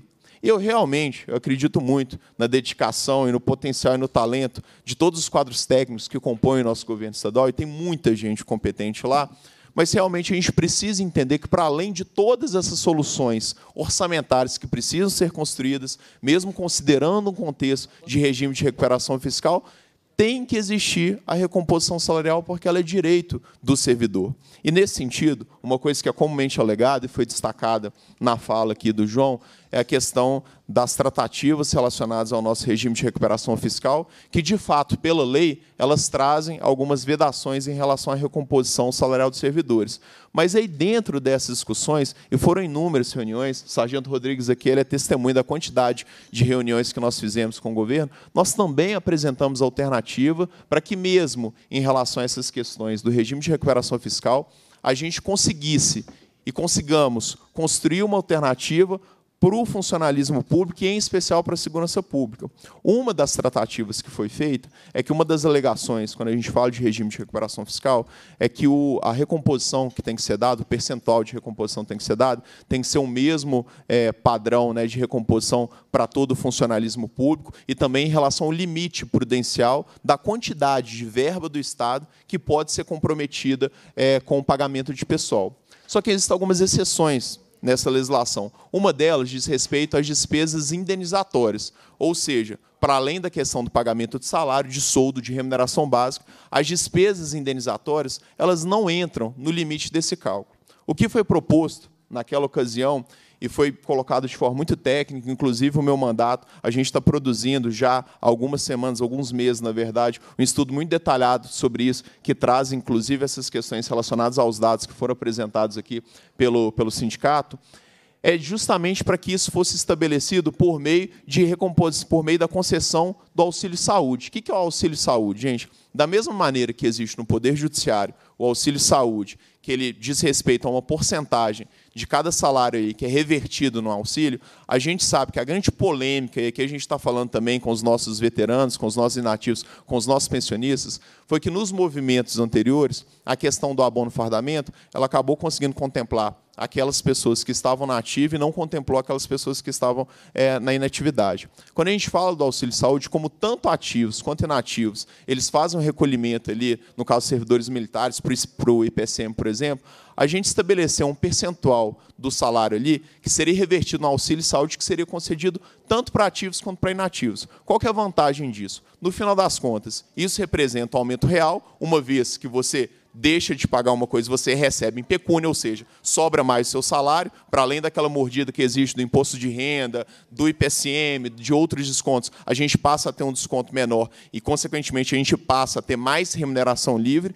A gente não fere em relação à questão do reajuste, que pode e deve ser concedido para todo funcionalismo público, que também desempenha um ótimo trabalho, e também a gente não entra no limite prudencial, uma vez que isso se constitui como verbo indenizatório. Então, por que a gente está reiterando isso daqui? Porque, em relação ao posicionamento é, do governo, e a gente, mais uma vez, eu repito e cumprimento aqui, porque a gente sabe que tem excelentes servidores técnicos, excelentes quadros, excelentes secretários, mas a gente precisa, de fato, construir uma opção política e entender que quem faz esse Estado ser o Estado mais seguro do país, em seu Estado que, de fato, legitimamente está sendo sempre sendo propagandeado como a melhor polícia, como o melhor corpo de bombeiros, como as melhores instituições de ensino, a gente precisa que isso se reverta na prática. E a gente, mais uma vez, a gente roga, a gente fazer esse movimento aqui, porque uma coisa também precisa ser reconhecida, Sargento Rodrigues, em relação a todos esses movimentos que têm acontecido, e já há bastante tempo, desde o início da nossa legislatura, que a gente tem que se colocado na rodada de negociação,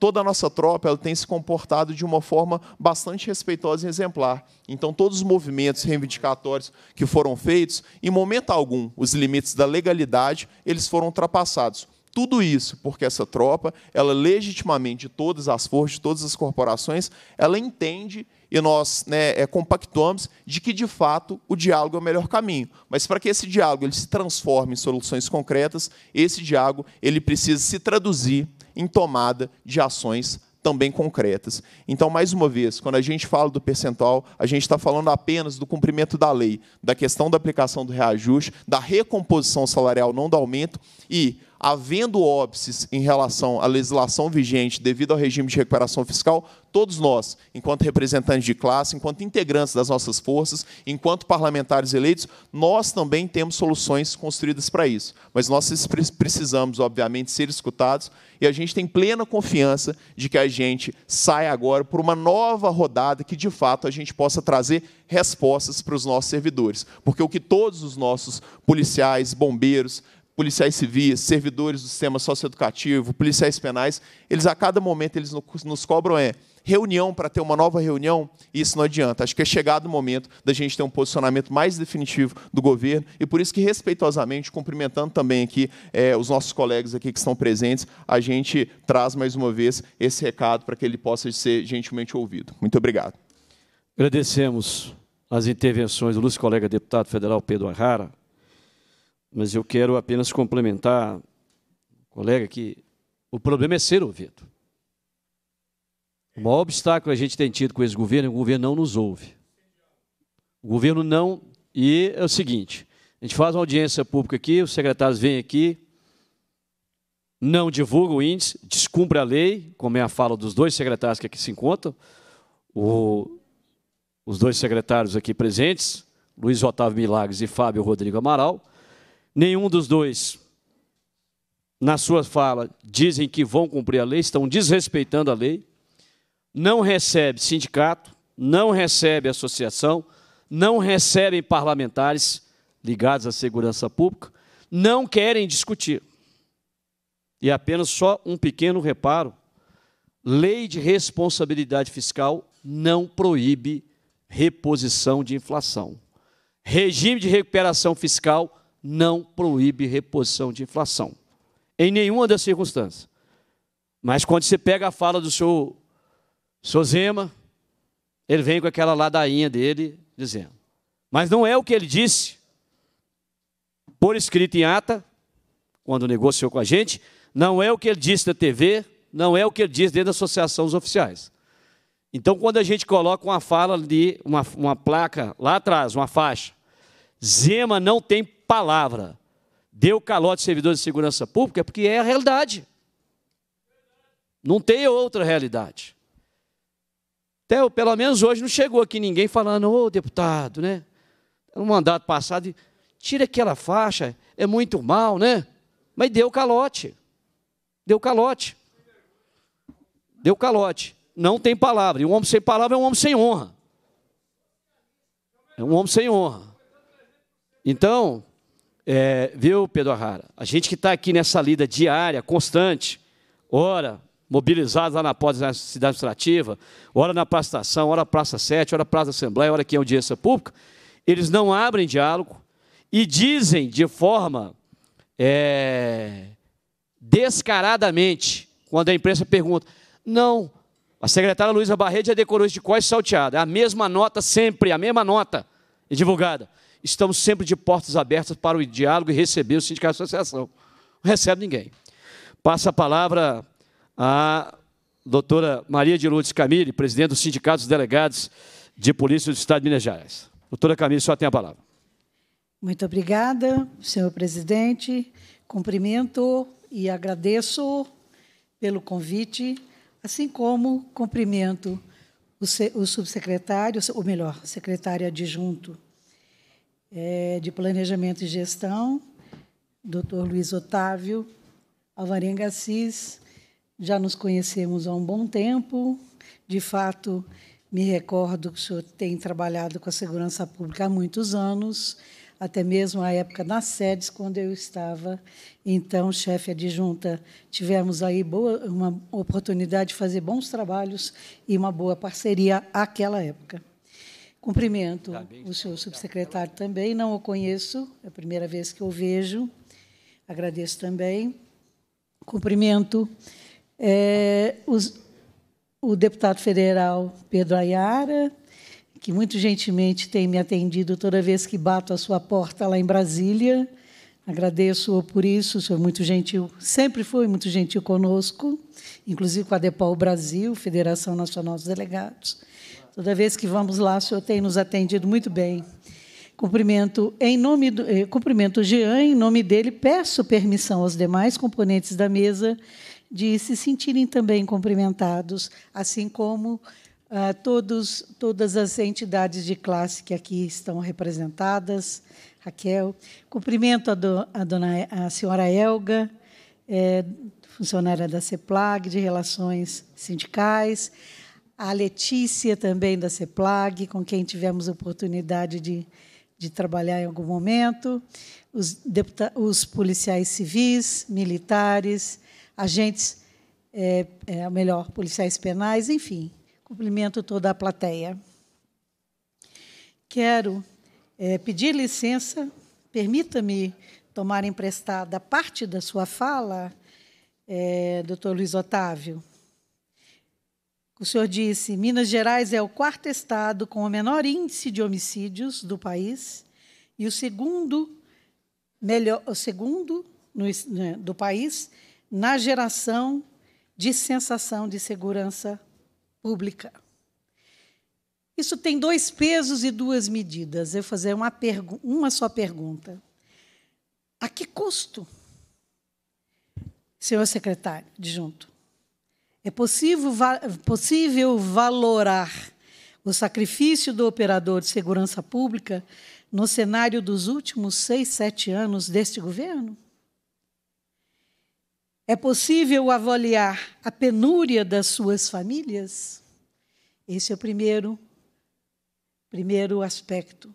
O segundo aspecto dessa fala do Senhor, que tem um peso incomensurável, atrai muitos negócios para o estado de Minas Gerais o fato de ser o segundo estado do país que tem a melhor sensação de segurança pública. Isso quer dizer que atrai também investimentos, atrai também recolhimento de impostos. Haja visto os números apresentados, então, pelo senhor Pedro. A valorização das forças policiais e dos operadores da segurança pública significa ter o pão à mesa, a escola, a escola adequada para os filhos, a assistência à saúde eficiente. O Epiceng está às mínguas. Tem lugares que o Epiceng nem, nem atende mais. Os nossos policiais não têm acesso à saúde.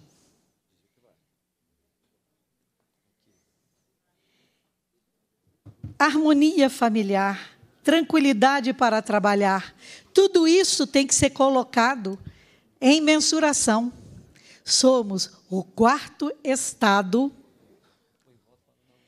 em menor índice de homicídios, o segundo em sensação de segurança e, na média salarial, um dos piores estados do país em política salarial.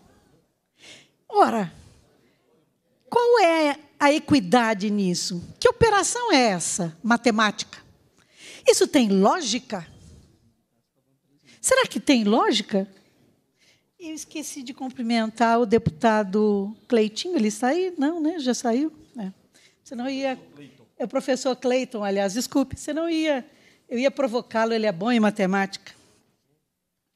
A valorização e o reconhecimento do esforço dedicação, cumprimento de metas, refletem, portanto, positiva ou negativamente a saúde mental e emocional do servidor das forças de segurança públicas e também da sua família. Porque um não pode ser desvinculado do outro. O policial chega cansado, extenuado, aborrecido para a sua casa e não tem como dar o conforto aos seus. Isso é bom? Isso faz bem para ele? No dia seguinte, ele vai levantar bem para trabalhar, cumprir metas? Ora, a política salarial dos últimos seis anos imposta eu não gosto muito dessa palavra por causa do sinônimo. Impingida. Vocês sabem qual é o sinônimo de impingir? Ferrar. Ferrar. Pode ver no dicionário. Mas é isso que o governo Zema tem feito: impingido, ferrado. Nós, da segurança pública. Os delegados de polícia, eu tenho que falar que eu, eu defendo a categoria delegados de polícia. Nós estamos perdendo profissionais altamente qualificados para outros estados, às vezes nem para a mesma função desses estados. Recentemente nós perdemos um delegado de polícia, foi um dos primeiros colocados para ser advogado de prefeitura, porque ganha mais que um delegado de primeira instância ou de primeira investidura. Aí me chega na hora dessa, o governo vai falar em 3,62. Os nossos servidores administrativos, há servidor administrativo que ganha menos que o salário mínimo, e diga-se, 3,64 é menos do que eu tive que pagar por força de lei para a minha faxineira, porque ela ganha o salário mínimo, é 6,72. Saibam, senhores, eu já falei né, que, o, que o Brasil é o, um dos últimos colocados no ranking da média dos piores salários, se comparados com a Alemanha, Estados Unidos, Chile, Canadá, França, Inglaterra e Portugal. Isso está no anuário anual, aliás, anuário é anual, né, lógico, de, do Fórum de Segurança Pública. Lá tem um ranking, até mesmo de qual é o percentual de policiais que deixam as instituições por conta exclusivamente salarial. A Polícia Civil perde mão de obra extremamente qualificada, já falei, para outras instituições. Esse anuário que eu falo de, de brasileiro, do Fórum Brasileiro de Segurança, Segurança Pública, é, compõe, melhor dizendo, é escrito por é, socia, é, é, é sociólogos e estudiosos da mais alta estirpe só do tema segurança pública. Por favor. Então, é de se, se ter atenção ao que o, for, o anuário traz de dados, que são dados científicos. Há que se repensar nas estruturas de carreiras, cargos, salários para a Polícia Civil. Há que se pensar na sua modernização, aliada à sua melhor política salarial. Isto é reconhecer o nosso trabalho. Discursos, palavras jogadas nas redes sociais não garante o pão à mesa não asseguram a qualidade de vida dos nossos policiais. Muito obrigada. Obrigado, doutora Camille. E religiosamente pontual, os 10 minutos. Convido, convido a senhora Aline Rise dos Santos, presidente da Associação dos Escrivães da Polícia Civil do Estado de Minas Gerais, também fazer uso da palavra.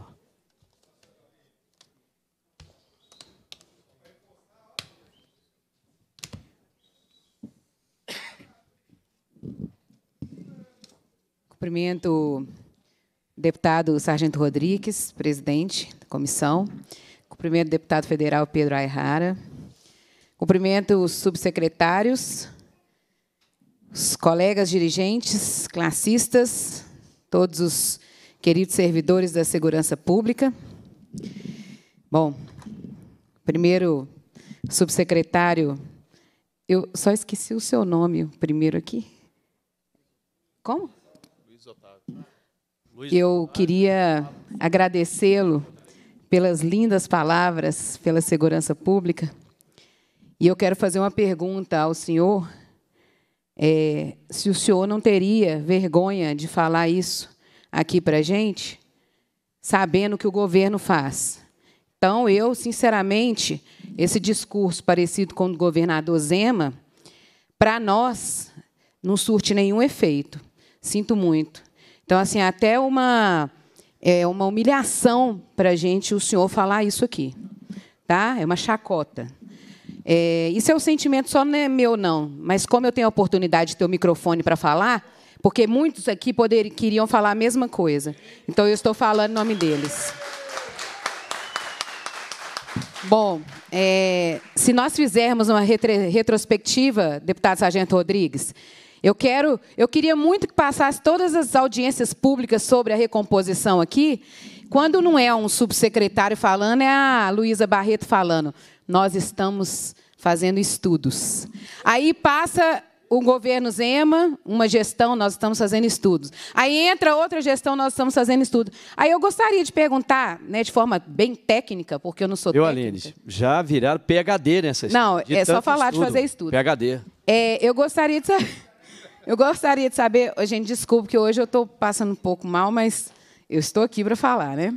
É, eu quero saber o seguinte: quem que é que está fazendo esse estudo? Quem que está estudando? Primeira coisa. Segunda, como é essa metodologia de estudo? Em cima do que, que vocês estão estudando? E outra coisa, eu nunca vi um estudo, alguém aqui que estuda, sempre tem um prazo, não tem? Então, esse é prazo é ad eterno? Eu gostaria de saber também. Então, assim, porque nós da segurança pública, eu assim, fiquei muito lisonjeada com os elogios, mas aqui não adianta nada. Porque esse discurso Zema é exatamente, ó, Igual o colega está falando. É, nós, profissionais da segurança pública, o, a remuneração que a gente recebe não paga o que a gente passa na rua. Até porque a sociedade não sabe que os profissionais da segurança pública é, eles convivem com as mazelas que muitas pessoas não conhecem. É a criminalidade. Porque o senhor, os dois, não estão na rua. O senhor, só se for assaltado, passar por algum tipo de crime, é que vai saber que existe crime na rua. Só que nós não, o tempo todo nós estamos sabendo disso.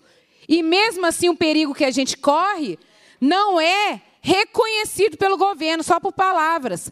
Mas o senhor também saiba, os dois secretários e o querido governador Romeu Zema, né, que o tempo todo aí está em mídias sociais e agora está começando a ter mídias sociais negativas, né? É, questões técnicas, né? Escolhido por questões técnicas, né? Certos secretários. Bom, enfim, quem sabe sabe, né? Mas enfim, é, o que eu quero dizer aqui é que nós continuaremos trabalhando, é, inclusive usando as mesmas técnicas que o governador Romeu Zema usa, né? As redes sociais, mídias, etc. A questão da segurança Mas, pública, a gente está falando, falando, falando. Aline, só com um diferencial, né? O, Não, nós falamos a verdade. O governador usa as técnicas, mas sob o prisma de Joseph Goebbels, que é o ministro propagandista de Hitler. Remit, repetia mentira mil vezes até, até que se torne verdade. Se torne verdade. Então, Exatamente. os sindicatos e associações é, vão usar a técnica de divulgação para contrapor as mentiras que o governo divulga. Desculpe, é. mas eu tinha que fazer esse adendo à sua fala. É bom que a gente troca. Não, e outra coisa, olha só que interessante, né? Teve uma entrevista da é, secretária Luísa Barreto falando de superávit, eu não estou entendendo, gente. Vocês têm que resolver o que vocês querem. Ou vocês falam uma coisa, ou vocês falam outra, ou vocês falam a verdade. Ou é mais fácil ainda pagar o que nos deve. Igual o, o deputado federal Pedro Ayrara falou aqui. Ô, gente, não é aumento, não. É simplesmente a recomposição. Até a própria sociedade, quando a gente estava fazendo manifestação, eles estavam reconhecendo, porque tinha acabado de sair de um carnaval totalmente seguro. Tinha mais policial na rua do que gente pulando carnaval. Aí, aí vem com essa história de. Ah, não, infelizmente, chega aqui e fala, não tem é, dinheiro em caixa. Aqui, o João comprovou aqui que tem dinheiro em caixa. Agora, quem é que está falando mentira? É o João ou é o governo? Ah, então pronto. Bom, então, o recado que eu quero passar aqui, como eu falei que eu não estou muito bem hoje, mas o recado que eu quero passar aqui é o seguinte. Caro governador Romeu Zema, secretários, subsecretários, inclusive, que eu não sei se os senhores entraram na fila dos 300%, né? porque também não precisa de lei de responsabilidade fiscal. Porque a lei de responsabilidade fiscal só vale para gente. Isso aí vale, ó, é de boa, é para serviço público, para segurança pública. Agora, para secretário, subsecretário, governador, vice e etc., não serve. Isso eu não entendo. É tanta incoerência no governador Romeu Zema, é tanta incoerência do, do Estado, que agora a faixa de caloteiro nem surte mais efeito para ele. Ele já aderiu, ele já é, serviu, é, colocou a carapuça. Então, assim, por fim, eu quero dizer que todos que estão aqui são da segurança pública, que nós não vamos parar de manifestar, de cobrar os nossos direitos, e o pior, hoje ele fala que é o segundo em segurança pública e que tem sensação de segurança.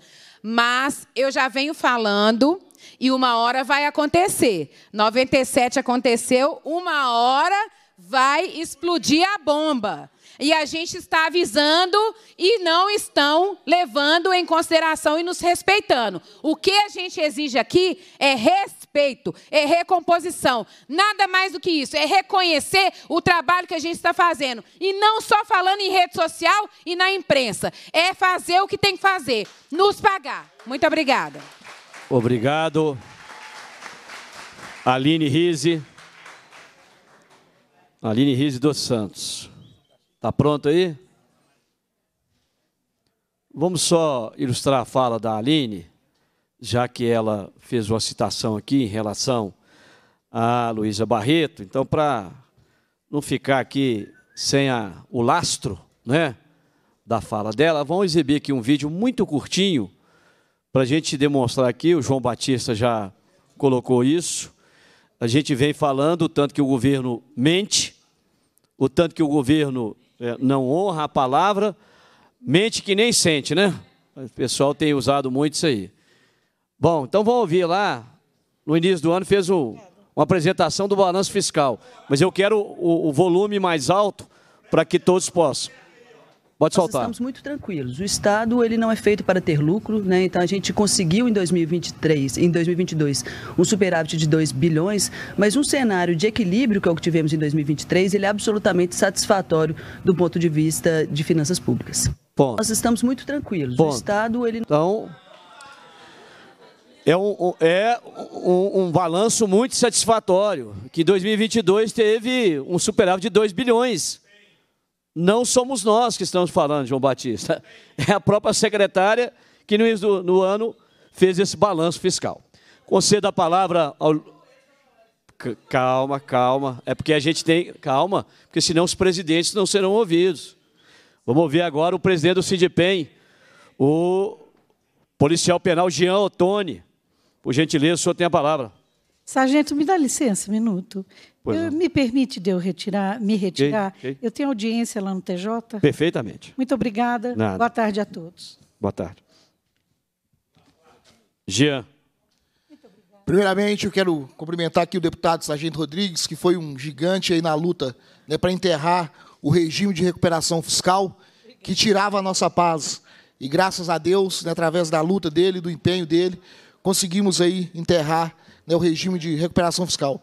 Cumprimentar aqui né, o deputado Errara e todos os companheiros aqui também da mesa, né, do Sindipol, os colegas aqui classistas que estamos aqui. Senhores, é, o governo ele já falou para nós que, na pessoa ali do deputado, que ele vai dar migalhas para nós. Aquela velha história né, do, do ditador, que ele despena a galinha e depois ele vai e joga milho para a galinha. Ou seja, a fala do governo para nós, com 34 bilhões em caixa, e vem aqui o seu secretário fazer um escárnio da cara da segurança pública. Ou seja, né, vocês são bons, vocês fizeram um belo trabalho, deram sensação de segurança, mas o que nós vamos dar para vocês é zero. É isso que o secretário ele vem aqui dizer para nós. Mas só que tem um porém, secretário. O Senhor está falando que existe a, a sensação de segurança dentro dos presídios, realmente não tem rebelião, realmente não tem motim, realmente as unidades prisionais, nós estamos mantendo a ordem e a paz, Mas só que tem um porém, se o Senhor não está dando o nosso direito, se o governador, ele vem aqui e fala em 3,64%, pode ter certeza que essa sensação de segurança dos policiais penais que estão dentro das unidades, com a margem mais ou menos de 70 mil presos, e apenas é, uma unidade que tem ali 3 mil presos somente com 20 policiais penais para manter a ordem e a paz. Agora eu pergunto com o Senhor, para Senhor, o Senhor acha que somente com esses 3,64%, o senhor acha que os policiais penais vão continuar mantendo a ordem e a paz e dando o seu sangue dentro daquelas unidades? É lógico que não. Por quê? Porque as nossas famílias precisam de cada um de nós para nós podermos voltar dentro da nossa casa. Agora, com 34 bilhões em caixa, com 34 bilhões, o governador Romeu Zema vem para as forças de segurança pública oferecer miséria, oferecer simplesmente 3%, e ainda ele é mentiroso. O governador Romeu Zema, ele mente nem esses 3, que ele tá, 3% que ele está falando, ele vai dar para as forças de segurança pública. Agora, eu pergunto para você, colega, eu pergunto para você que está dentro de uma delegacia, para você que está dentro da unidade prisional, para você que está dentro aí do batalhão, nós vamos aceitar isso? É lógico que não. Nós já colocamos 2.500 policiais nas ruas, e agora podem ter certeza, governador, a manifestação que nós vamos fazer, como nós fizemos daquela vez que nós colocamos 40 mil nas ruas, nós vamos fazer de novo, mas só que agora o Senhor vai ter que se curvar, porque nós não vamos sair de lá.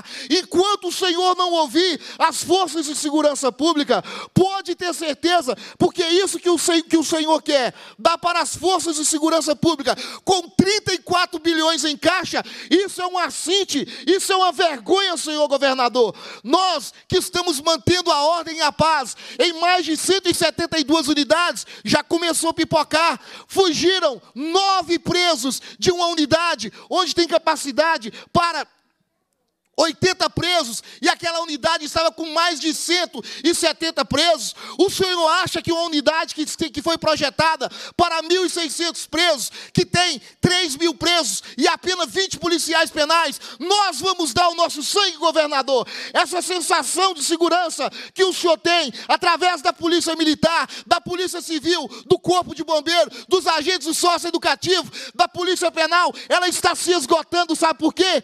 O Senhor deu zero ano passado para nós. O que vale o secretário vir aqui e falar palavras bonitas? O que vale o secretário vir aqui e falar que somos os melhores? Mas na hora de dar o reconhecimento para nós levarmos o pão para dentro da nossa casa, ele vira para nós e diz: Nós vamos dar três vírgula não sei o que para vocês. Isso é uma vergonha. Nós, das forças de segurança pública agora. Agora eu quero falar com você, colega. Ou nós vamos fazer algo como 97, para que o governador ele possa se curvar diante das forças de segurança pública, ou então nós vamos aceitar essa miséria que ele está oferecendo para nós. Não dá para ver colegas morrendo, não dá para ver colegas suicidando, não dá para comer essa lavagem que o governador ele oferece dentro das unidades prisionais, não dá para enfrentar esse déficit que está acontecendo e nós continuarmos quebrando o galho do Estado.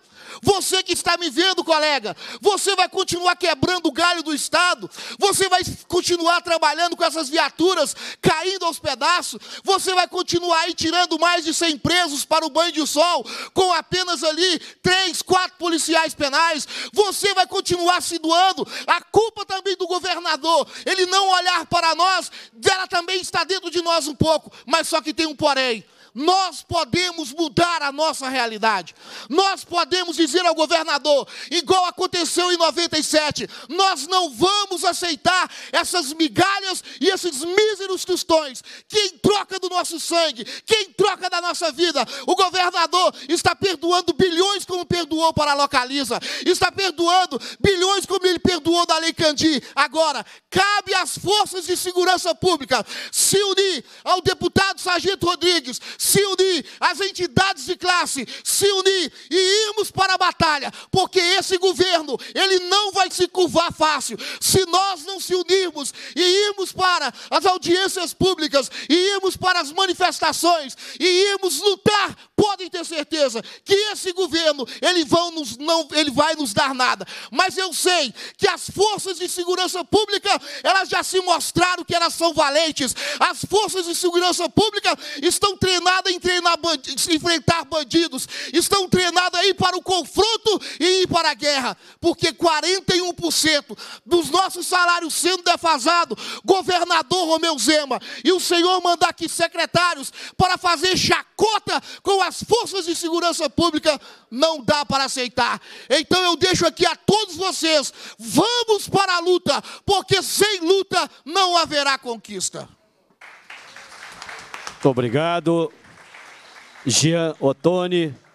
Convidamos o senhor Michael André Santos, diretor de comunicação do Centro Social dos Cabos Soldados. O senhor tem a palavra. Queria cumprimentar a todos em nome do Sargento Rodrigues e queria começar perguntando, Sargento Rodrigues, é, por que, que nós colocamos a palavra que a, a faixa que Zema não tem, não tem palavra? Eu quero só, só voltar no tempo, nós não, não, criamos isso da nossa cabeça, nós não temos nada pessoal contra o governo. Em 2018, ele foi. 19. 2019, ele foi às, às redes de comunicação e anunciou falando que era necessário fazer a recomposição, que as, os colaboradores da empresa dele têm a recomposição e que nada mais justo do que nos dar a nossa recomposição. A recomposição veio, ele deu com uma mão e tirou com as duas mãos. Ok, 2018, 2023, veio ele, 2022 veio ele novamente prometer. Nós não pedimos, ele prometeu, dizendo que seria promessa de campanha a recomposição salarial em 2023 e em 2024. Pois bem, existe uma lei que o governo teria que, pelo menos, mostrar o, índice. A gente não estava pedindo para ele pagar o índice, e, e simplesmente mostrar o índice. E, nesse, e nessa lei ele não cumpre nem do ano passado, que eu estive aqui, e nem este ano. Aí nós tivemos aqui, este ano, o secretário, como da outra vez também, veio outro secretário e falou bem da polícia. Sabe por que ele falou bem da polícia? Porque a polícia não dá, não dá o braço a torcer. Nós fazemos o nosso trabalho porque nós temos sangue. Sangue que corre em nossas veias de fazer cumprir o nosso dever. Não tem um militar que eu conheço, não tem um policial civil que eu conheço que não faz o seu trabalho, e a penal e também o sócio-educativo. Todos eles têm prazer em fazer o trabalho. Ok. Em 2023, o governo disse que deu índice para os professores. Porém, o índice veio por força de governo federal, veio por força do Bolsonaro. Só que ele mesmo não, não quis pagar. Foi uma luta violenta aqui dentro do, do, do, da Assembleia para que ele pudesse pagar o índice dos professores. E aí foi enfiado goela abaixo diante dessa lei e ele teve que pagar os professores. Só que para a gente, infelizmente, nada. E aí o que, o que resta faltar, falar é o seguinte: a nossa lealdade e a lealdade um com o outro. O governo Zema ele está articulando para 2024 e para 2026. Então, nós temos que pensar o que vai ser do governo em 2026. Então, a resposta nossa, além de tudo, tem que ser na urna, porque o governo estadual vai trazer representante dele para continuar esse governo e ele vai deve sair, no mínimo como senador. Então gostaria que cada um de vocês lembrasse do nome Zema na hora de votar governador, na hora de, de votar ou para senado ou para deputado, que ele deve vir. Só que eu queria lembrar uma outra coisa o nosso deputado federal disse em abrir diálogo. O diálogo é entre duas pessoas, não vira monólogo. Eu não consigo abrir diálogo com o governo. O governo diz que ia mandar abrir diálogo, vamos conversar. Conversar com quem? Com as paredes? Nós fomos fazer uma manifestação justa, digna e honesta no pátio do, do Palácio do Governo. Nem entrar nós podemos entrar. Nós fomos barrados. Então, que diálogo é esse se a gente não pode nem falar? Se a gente não pode nem expressar. E aí fica só um recado aos militares. E eu gostaria que os militares, e aí vai do recruta ao coronel, o governo está para mandar para essa casa um projeto para acabar com o nosso IPSM. Por quê? Hoje, nós pagamos 10,5%, tá? 10,5%, e não era para o reformado nem para pensionista pagar os 10,5%. Por quê? Porque o STF já deu entendimento da lei. Nós temos lei própria, então não era para estar pagando e nós estamos pagando. Ele está aproveitando, nós estamos entrando na justiça, quem está entrando está ganhando, o sargento Rodrigues já ganhou, e aí ele vai mandar um projeto aqui, sabe para quê? Para regulamentar essa lei. Então ele vai ficar legalizado. E a lei é 10,5% de previdência e 3,5% para a saúde. Então, queridos e colegas de farda, escutem, nós vamos pagar 14% de IPSM. E deve vir mais coisa por trás. Por exemplo, maior coparticipação dos nossos dependentes. Nós vamos ter que pagar parte para os nossos dependentes. Então fica aí a nossa indignação com o governo. Não queremos tapinha nas costas, nós queremos é, recupera é recomposição salarial, é isso que nós precisamos, é nosso reconhecimento do salário, é o é reconhecimento de cada dia sair para trabalhar, como nosso querido Sargento Dias saiu para tentar fazer uma sociedade segura do jeito que ele falou, que é, que é segura, e infelizmente não voltou para casa. Agora, levar uma bandeira para a esposa é muito fácil. Eu quero ver, é reconhecer a família, reconhecer cada família, policial militar e bombeiro militar. Então, gostaria de deixar aqui nossa indignação e chamar, como o Jean falou, nós vamos chamar para novas manifestações. Gostaríamos que você, policial militar, enganjasse nessa luta, enganjasse junto com as associações e junto com o deputado. Muito bom, Mike. Passamos a palavra ao senhor Emerson Silva, presidente do Sindipol. Senhor presidente, vou pedir só licença para retirar, okay. porque tem outra reunião agora no Tribunal de Justiça. Ok, Pedro. Também, Obrigado pela participação, Obrigado, Pedro Errado.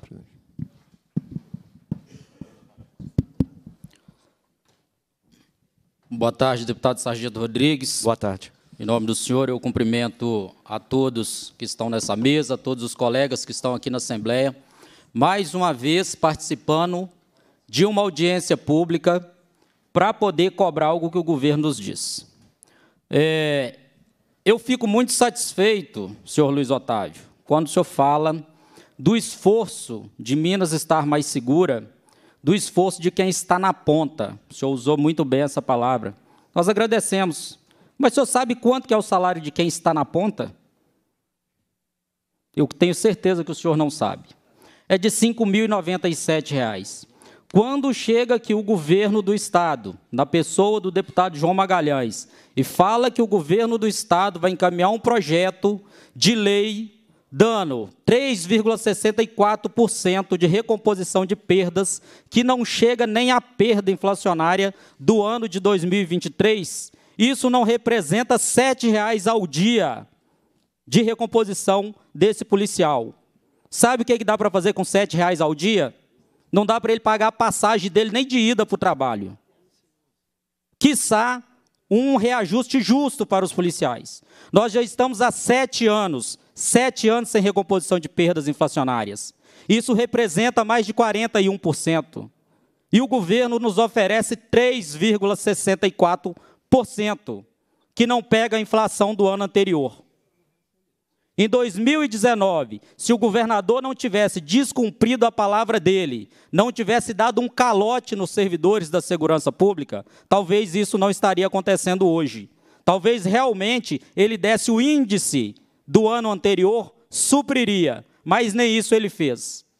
Então nós precisamos pensar nisso, porque não adianta, senhor Fábio Rodrigo, do Amaral. Não adianta o governador pagar no quinto dia útil algo que é obrigação dele e dizer que o governo anterior não o fez e que ele faz muito bem, porque é mentira, porque nem a dívida do Estado ele tem pagado. Então, ele não está fazendo nenhum favor para o servidor.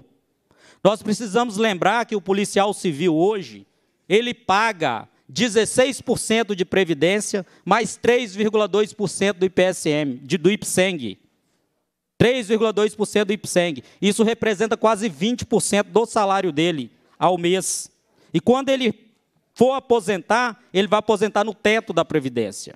Então, nós precisamos pensar isso. O governo aumentou o salário dele em quase 300%.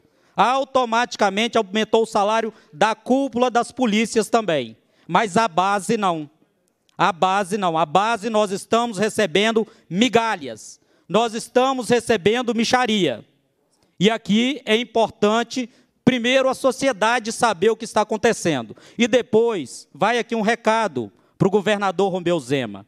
Nós estamos há quase seis anos tentando dialogar com esse governo. E ele não dialoga com a gente.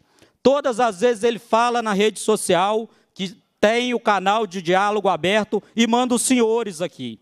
Eu admiro o trabalho que os senhores fazem, né? porque eu, eu me sentiria constrangido de estar na posição dos senhores. Porque os senhores têm que defender um governo que mente para a sociedade. Os senhores têm que defender um governo que mente para os próprios deputados. Os, senhor tem que, os senhores têm que defender um governo que não cumpre sequer a sua palavra.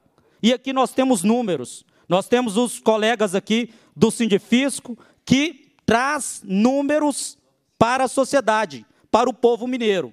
Então é isso que o povo precisa saber, que o governo de Minas Gerais, o governador Romeu Zema mente para a população.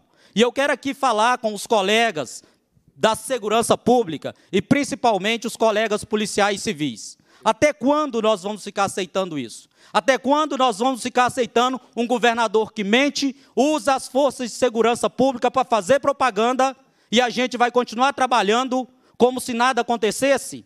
Na hora que nós tombamos, nem um obrigado ele dá para nós. Nem isso ele faz para nossas famílias. A nossa família vive sim de dinheiro, de salários. Quem está na polícia hoje, como bem disse o Michael, é porque gosta da polícia. E nós temos a evasão, uma das maiores evasões de policiais civis da história de Minas Gerais. Tanto de investigadores, escrivães, delegados, estão evadindo. Então é importante, governador, que o senhor saiba que nós, e aqui eu conclamo a todos os policiais civis, que compareçam nas manifestações, compareçam nas audiências públicas, porque teremos sim que lotar as próximas manifestações. E quiçá, se esse governo, senhores é, secretário adjunto e senhor subsecretário do Tesouro, se esse governo realmente não sentar com as categorias para dialogar, não tenha dúvida que Minas Gerais, a segurança pública do Estado, vai parar. Eu conclamo a todos os policiais para que compareçam e no momento correto que está chegando, que esse governo for mandar 3,64% de reajuste. Eu já falo aqui, adianto, já estou aqui, senhor deputado, senhores colegas, representantes de classe, que a gente já marque uma reunião para, no máximo, a próxima semana, já organizar a próxima manifestação e, se o governo não dialogar, já, já, a gente já marcar uma paralisação de pelo menos 24 horas para toda a categoria da segurança pública. Muito obrigado a todos. Muito obrigado, o Emerson Silva. Vamos convidar agora, perguntar se o senhor Zelino quer fazer uso da palavra. Por gentileza. Vamos tentar ficar aí, Zelino, dar o recado em cinco minutos, tá bom? Fica à vontade, Zelino. Joselino Esteves dos Santos, presidente dos sindicatos auxiliares, assistentes e analista do sistema prisional e socioeducativo. O senhor tem a palavra. Exatamente. Boa tarde a todos, a todas, os companheiros aí de lutas. Tem uma imagem que eu solicitei o Marcelo, se puder é, fazer essa apresentação para mim aí. Eu gostaria que os técnicos do governo, se der para ampliar, por gentileza, o Emerson chamou a atenção para o piso Tenta dos policiais. É, nós fizemos uma, animação, uma, uma, uma, uma ampliação de um contra-cheque de um profissional que entra do nível médio lá no sistema prisional. Aquilo lá em vermelho representa as despesas do mês do servidor que entrou em 2021. Por gentileza, baixe até a remuneração total do servidor no final dessa, dessa apresentação aí. Se der para ampliar, R$ 2.287, que é o, o, a remuneração bruta ou, ou líquida desse servidor. Então, a gente pode perceber que nossos servidores estão trabalhando literalmente para poder comer. Uma passagem de ônibus em Belo Horizonte, região metropolitana, custa em média é, 10 reais. Ida, 10 reais volta. E isso quando o servidor pede, pega uma condução para trabalhar. Infelizmente, vários dos nossos trabalhadores, principalmente os que eu, que eu represento, trabalham em zonas rurais, né, distantes dos centros urbanos, e não possuem sequer um dia da semana para poder cuidar dos seus compromissos. Né? Então, a gente fica praticamente durante o dia todo e parte da noite dentro de uma unidade prisional ou na, no caminho até o trabalho.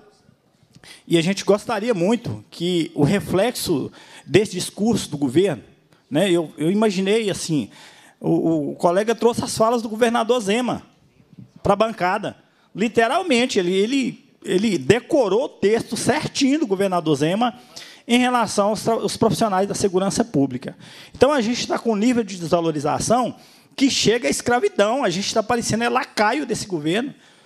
Né? Estamos sendo tratados como lacaios, literalmente, que a gente não precisa de comer, a gente não precisa de beber, não precisa levar dignidade para casa, e que nós, trabalhadores, não precisamos de dignidade, que ele só precisa de discurso para poder sobreviver. Então, a gente está vivendo uma nova celeuma no governo do Estado de Minas Gerais, que, por um lado, ele, ele acha que a obrigação dele é que o que é obrigação, que é dever dele, é um benefício para o trabalhador, que é receber em dia. Né?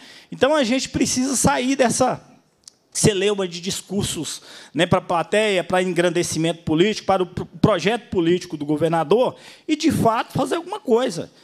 Sobre diálogo, a gente já teve várias reuniões com o secretário de governo, que, quando estava aqui como deputado, viu essa animação, essa, essa apresentação aí desse contra-cheque, que sensibilizou não, com ela. Essa animação não, isso é uma desanimação. É, exatamente. Desanima, né? É. Você viu um contra-cheque. É, se sensibilizou, a gente foi até a Secretaria de Governo, enquanto ele agora é a autoridade desse governo, e até agora não recebemos resposta. Encaminhamos esse projeto para a CEPLAG, que precisa de uma revisão.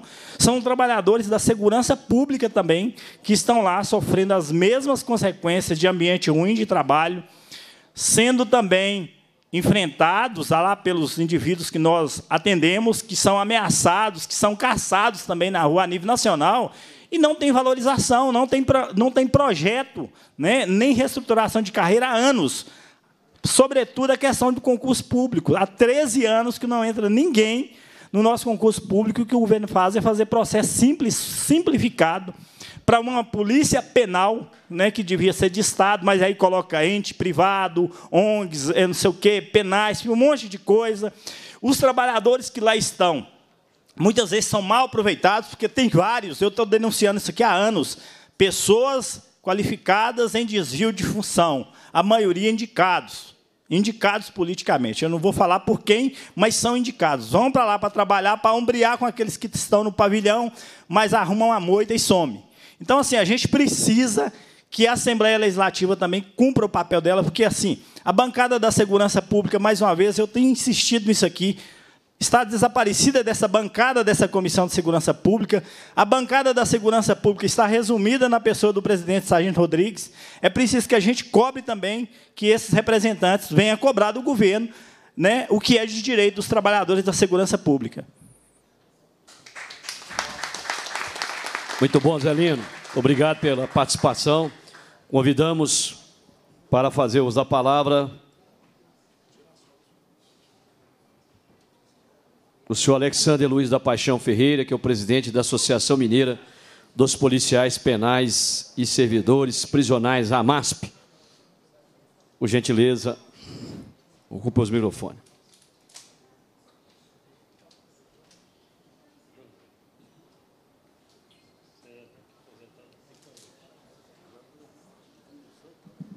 Boa tarde a todos presentes. Boa tarde. parabenizar na presença do nosso presidente Lúcio Sargento Rodrigues. Quero enfatizar o seu excelente trabalho frente à, à Comissão de Segurança Pública. E os demais presentes, quero enaltecer todas as falas, parabenizar. Faço delas as minhas palavras e quero dizer que, infelizmente, é, o governador mandou mais duas pessoas figurativas Infelizmente, o governador Romeu Zema ele insiste em fazer as pessoas de marionete. Então, ele não está só na condição de fazer eles de palhaço, mas nós também, porque nós da segurança pública não estamos aguentando mais. Hoje vocês acenderam o estupim do ódio. Então, esse sentimento que todos os policiais presentes e os demais que estão acompanhando pela televisão é, é de dizer que é lamentável.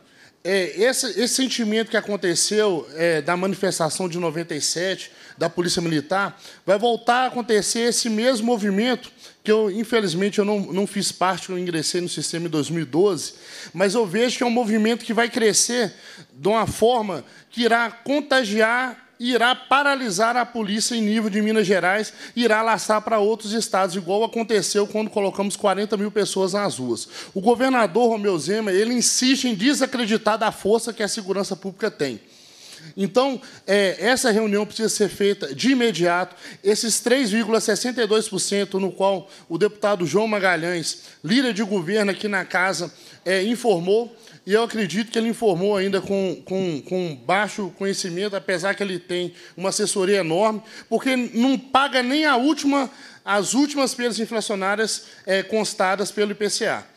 Então, o que nós estamos vendo aqui hoje é, simplesmente são figuras é, meramente ilustrativas. Só que isso não causa uma revolta. Nós acreditamos que o, o, o, deputado João Magalhães saiu para estar conversando com o chefe de governo para dar uma, uma, uma, uma proposta diferente do que foi apresentada. Porque o sentimento que nós estamos hoje, hoje vocês acenderam o estupim do ódio na segurança pública. E eu venho a dizer a você, policial penal, não continue quebrando o galho do sistema não faça nada que foi que a lei te obrigue. Só faça o que tem que fazer, não invente nada. Só faça o que a lei obrigue você a fazer. Nós somos um número. O Estado nos trata como objeto. Então esse sentimento de revolta, ele tem que chegar na mesa do governador. Então precisamos de fato. Hoje nasceu um movimento que vamos colocar mais de 50 mil pessoas nas ruas novamente. E lembrando que esse mesmo movimento, nem assim o governador sequer chamou para a negociação. Ele propôs as suas, as suas com seus técnicos, as suas proposições, foi, foi de bom aceito, foi de bom grado no momento, mas hoje é um novo cenário.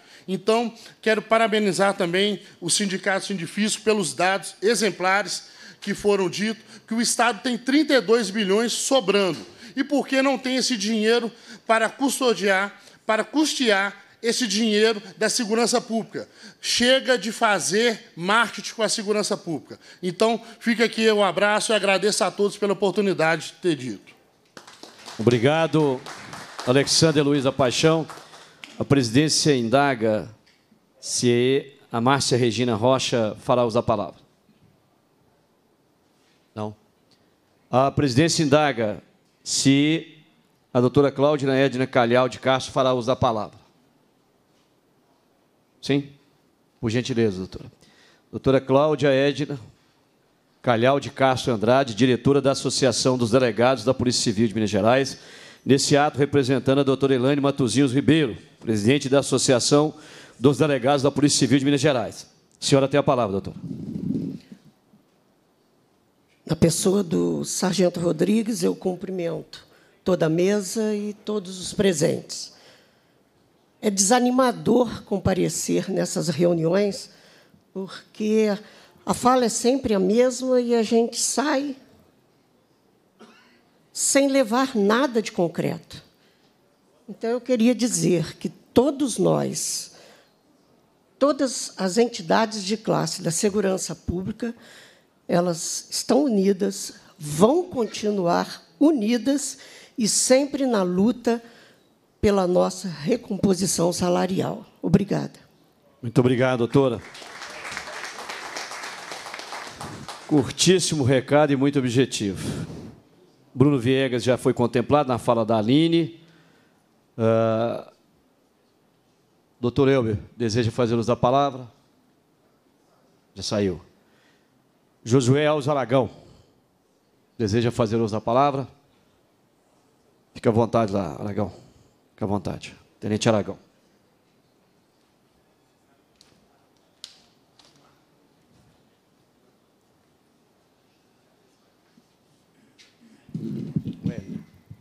Boa tarde, boa tarde, senhor presidente. A CUME agradece o convite. Boa tarde a todos. Bem, na verdade, eles falaram tudo que eu pretendia falar por aqui, né? principalmente a fala do Jean, que, na verdade, ele pediu para que saíssemos do WhatsApp e viéssemos realmente aqui. Hoje eu esperava mais gente aqui, mas infelizmente não veio.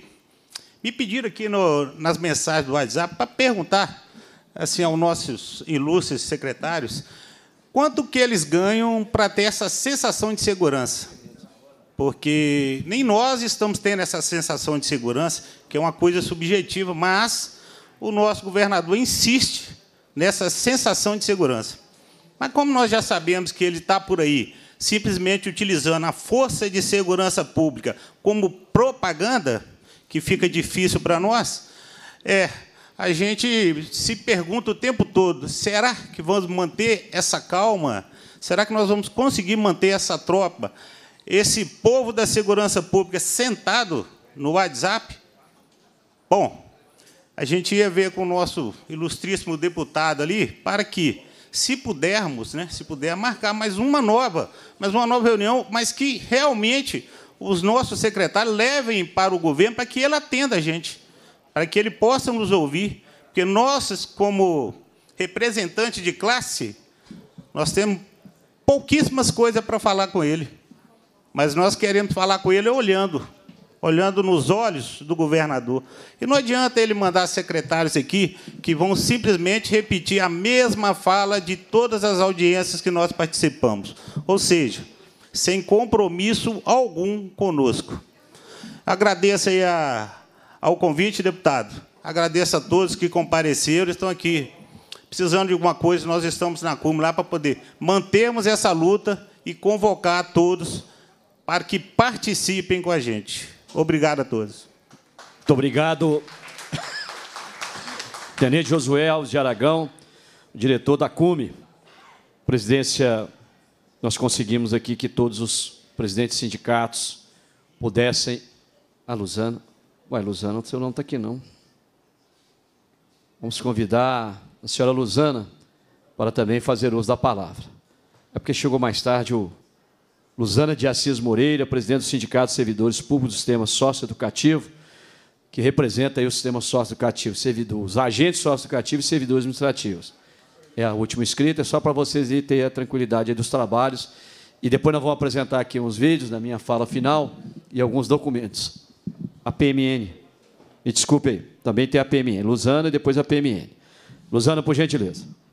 É, boa tarde a todos. Eu sou Luzana, eu represento os agentes de segurança socioeducativo. Né?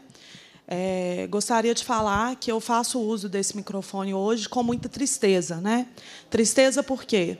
É, nós que somos servidores da ponta, principalmente, os agentes de segurança, os analistas e os policiais penais e os servidores da Polícia Civil de início de carreira, é, a gente já tem um salário muito baixo.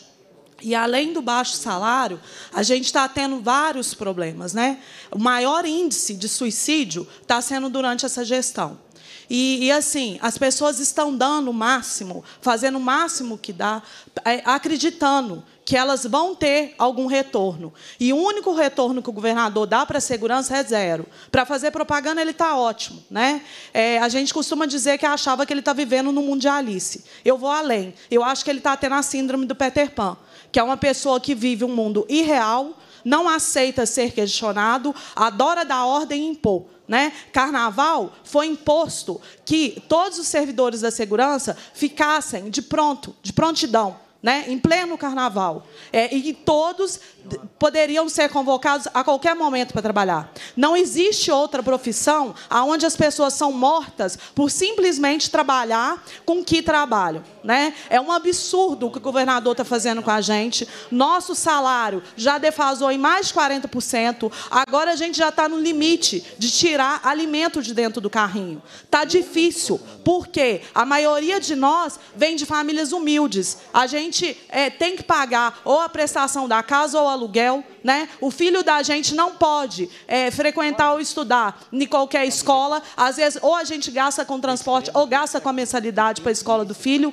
E assim, está ficando insustentável. O governador, ele está fazendo a mesma coisa que houve em 97. Eu não vivi em 97, eu entrei no sistema em 2010. Mas Enquanto cidadão, me lembro bem do movimento. O Azeredo ignorou todos os chamados, todas as súplicas, né? Até chegar ao ponto que chegou. Rodrigues estava, Rodrigues sabe disso. E o Zema está fazendo o mesmo caminho. E está chegando num ponto que a gente que é da base está insuportável. Não está dando mais. As pessoas estão se matando. Não é à toa, não. É porque a gente está sofrendo pressão. Não tem como ir trabalhar com a panela dentro de casa vazia. Não tem como ir trabalhar com os boletos chegando e a cobrança chegando isso está insustentável. E o que, é que o governador faz? Faz igual o Peter Pan. Sai por aí voando, falando que a melhor segurança do Brasil é a melhor do país e dá o que para a segurança? Nada. Zero, né? Eu espero que os servidores da segurança acordem, porque muitos votos do Zema foi dado por esses servidores, não só da segurança, como os o servidor público em geral. E sempre tem uma desculpa. Ora é o caixa, ora é, é, é, é a recomposição que não pode vir porque está em regime de recuperação fiscal, né? Só que assim, são narrativas que não fecham. Nunca fecham. Porque na hora de fazer discurso bonito na imprensa e falar que tem caixa que o Zema colocou a casa em ordem, tem um discurso. Mas na hora de pagar, ah, eu não tenho dinheiro, eu estou devendo. E isso é adoecedor. O servidor da segurança, ele está clamando, clamando por ajuda, porque ele paga a alimentação, ele paga o deslocamento, ele paga tudo, tudo. A gente não tem benefício, a gente não tem é, é, nenhum auxílio, nada. Além do, do fardamento, é o único, o único. E mesmo assim, a gente tem que repor, porque a gente não vai trabalhar igual mulambo, não. Então, assim, espero que o governador ele tenha ciência e pare de fazer propaganda. Pare, porque isso está adoecendo as pessoas e isso está o cúmulo do absurdo. E eu espero que o servidor da segurança acorde.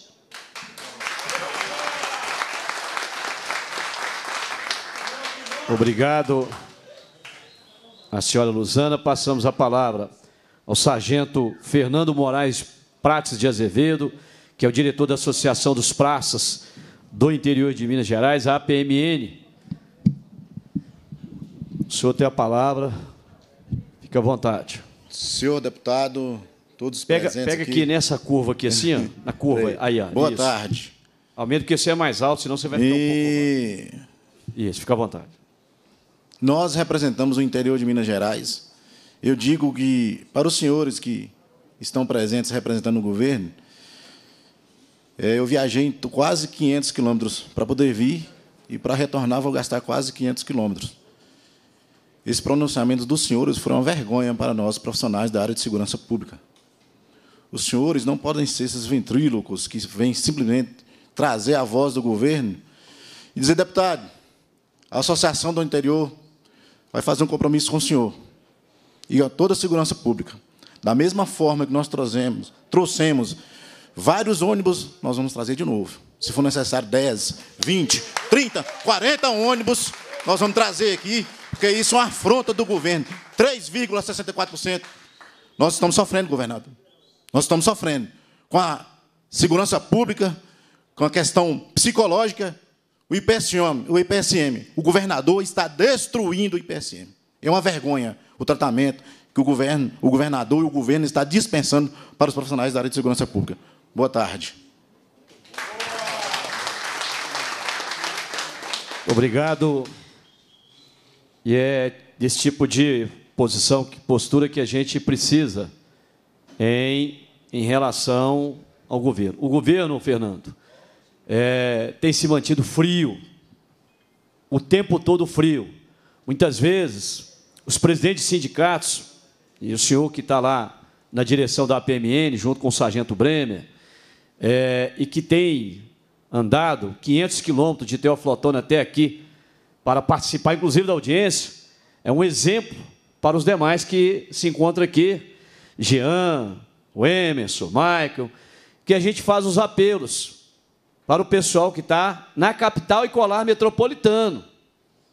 A última manifestação que nós conseguimos colocar 2.500 pessoas lá, inclusive a PMN chegou junto com o pessoal lá de Valadares, é, saiu de Teoflotone, tivemos ônibus de Manhuaçu, e o nosso pessoal de Belo Horizonte não teve a decência de vir lutar, Tony, pelo próprio salário. É assim, é vergonhoso. Eu dei exemplo lá, nós tínhamos um policial de Taiobeiras, aqui nossa manifestação aqui em cima. Tinha um policial de Taiobeiras, tinha policial de Salinas, tinha policial de Tupaciguara, no Pontal do Triângulo, Uberlândia. E às vezes o companheiro nosso é aqui de Belo Horizonte.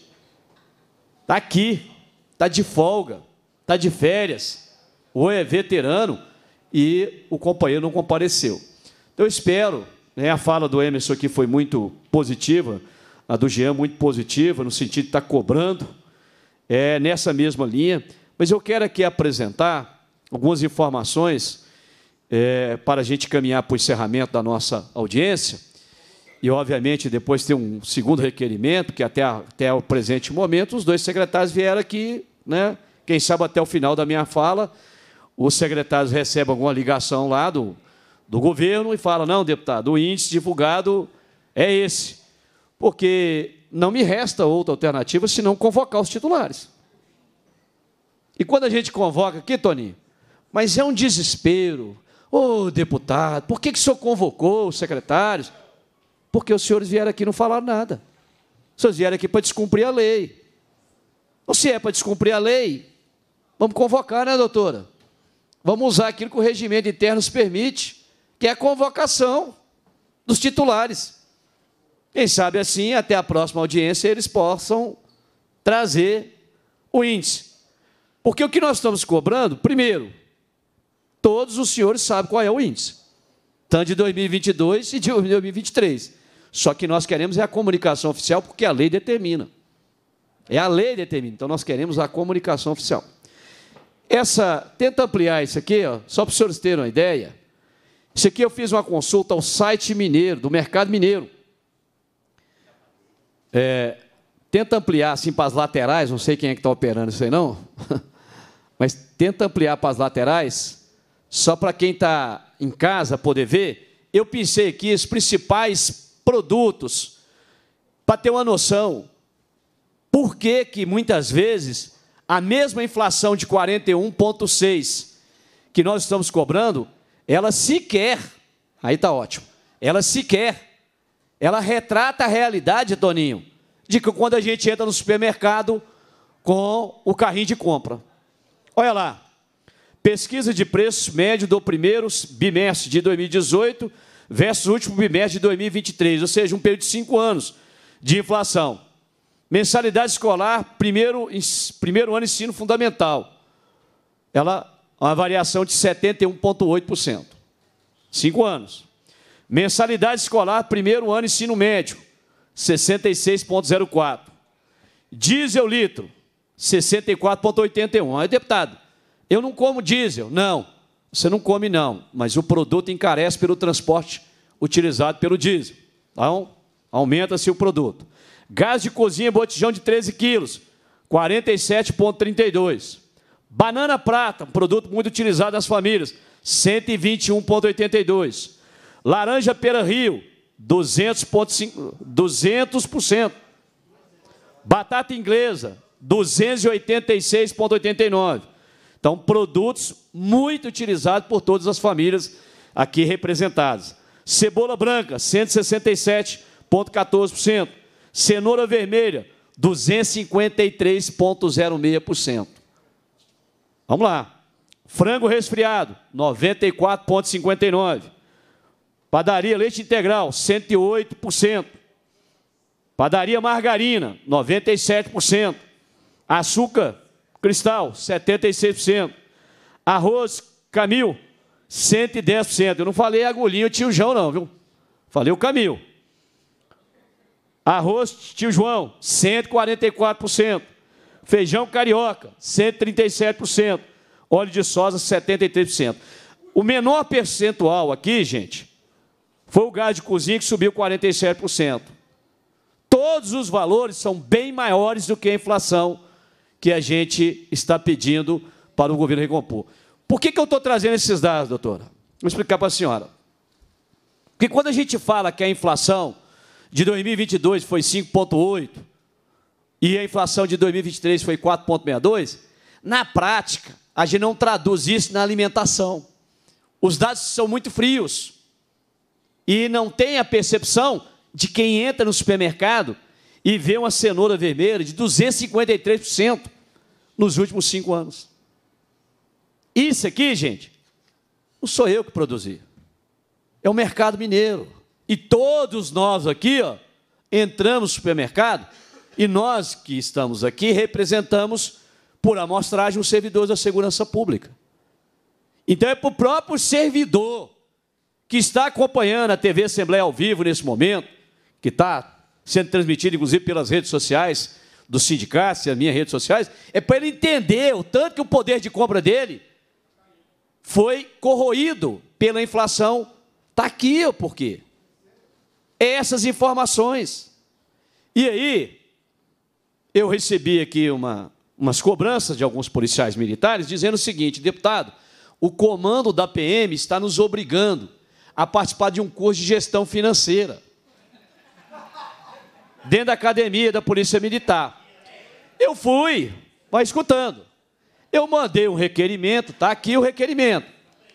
Eu mandei um requerimento pedindo ao comando, solicitando ao comando, que não fizesse de forma obrigatória, que fosse voluntária. Às vezes você quer participar, tudo bem. Aí o comando me responde o seguinte: está aqui a resposta, dia 3 de outubro de 2023, ao envio, agora respondeu recentemente. Sua Excelência, o deputado estadual Tadeu Leite. Resposta ao requerimento 3419-2023. Vamos lá a resposta. Cumpre-me esclarecer, em atenção ao tema do requerimento, que a saúde financeira do servidor reverbera em sua saúde mental. Calma aí, porque é bom, é bom que vocês prestem bastante atenção no que nós estamos falando. Vou ler de novo. Cumpre nos esclarecer, em relação ao tema do requerimento, que a saúde financeira do servidor reverbera em sua saúde mental, bem como na qualidade e segurança da prestação de serviço à sociedade. O policial militar endividado possui capacidade focal reduzida, podendo atuar em casos pontuais de forma discrepante ao preconizado pela instituição. Então, senhores secretários, quem me deu essa resposta? Tem. Ele está ele está dizendo na prática, falei, olha, nosso policial está endividado, está passando necessidade e isso está afetando. Quem disse isso? O próprio comandante-geral da PM. Não é o caso lá de cima, né? Não é o caso que nós exibimos aqui na outra audiência pública. Mas o soldado, o cabo, o terceiro sargento, o segundo sargento, a parte de baixo do andar está sofrendo muito. E realmente eu concordo com ele. Porque foi isso que aconteceu na Vendência. Os senhores que estão aqui, e o governo, vocês estão brincando com algo que vocês não deveriam brincar. Eu estava lá em 97. Eu era um dos líderes da greve em 97. Eu sei porque aconteceu, porque eu vivenciei tudo. Foi por causa de situações como essa. Porque o cara farda, põe uma arma na cintura, pega a viatura, vai trabalhar e deixa a esposa e os filhos passando necessidade. Então, se os senhores não estão entendendo isso, e aqui, por mais que a gente é, presida essa comissão e a gente tem que modular o linguajar, modular, porque eu não posso, é, eu não tenho essa mesma liberdade de falar, às vezes, aquilo que eu gostaria de falar, mas os senhores estão aqui trazendo, verbalizando algo que o governo fala, mas vocês não estão medindo as consequências disso. O que vocês estão fazendo numa tentativa de empurrar com a barriga é muito grave.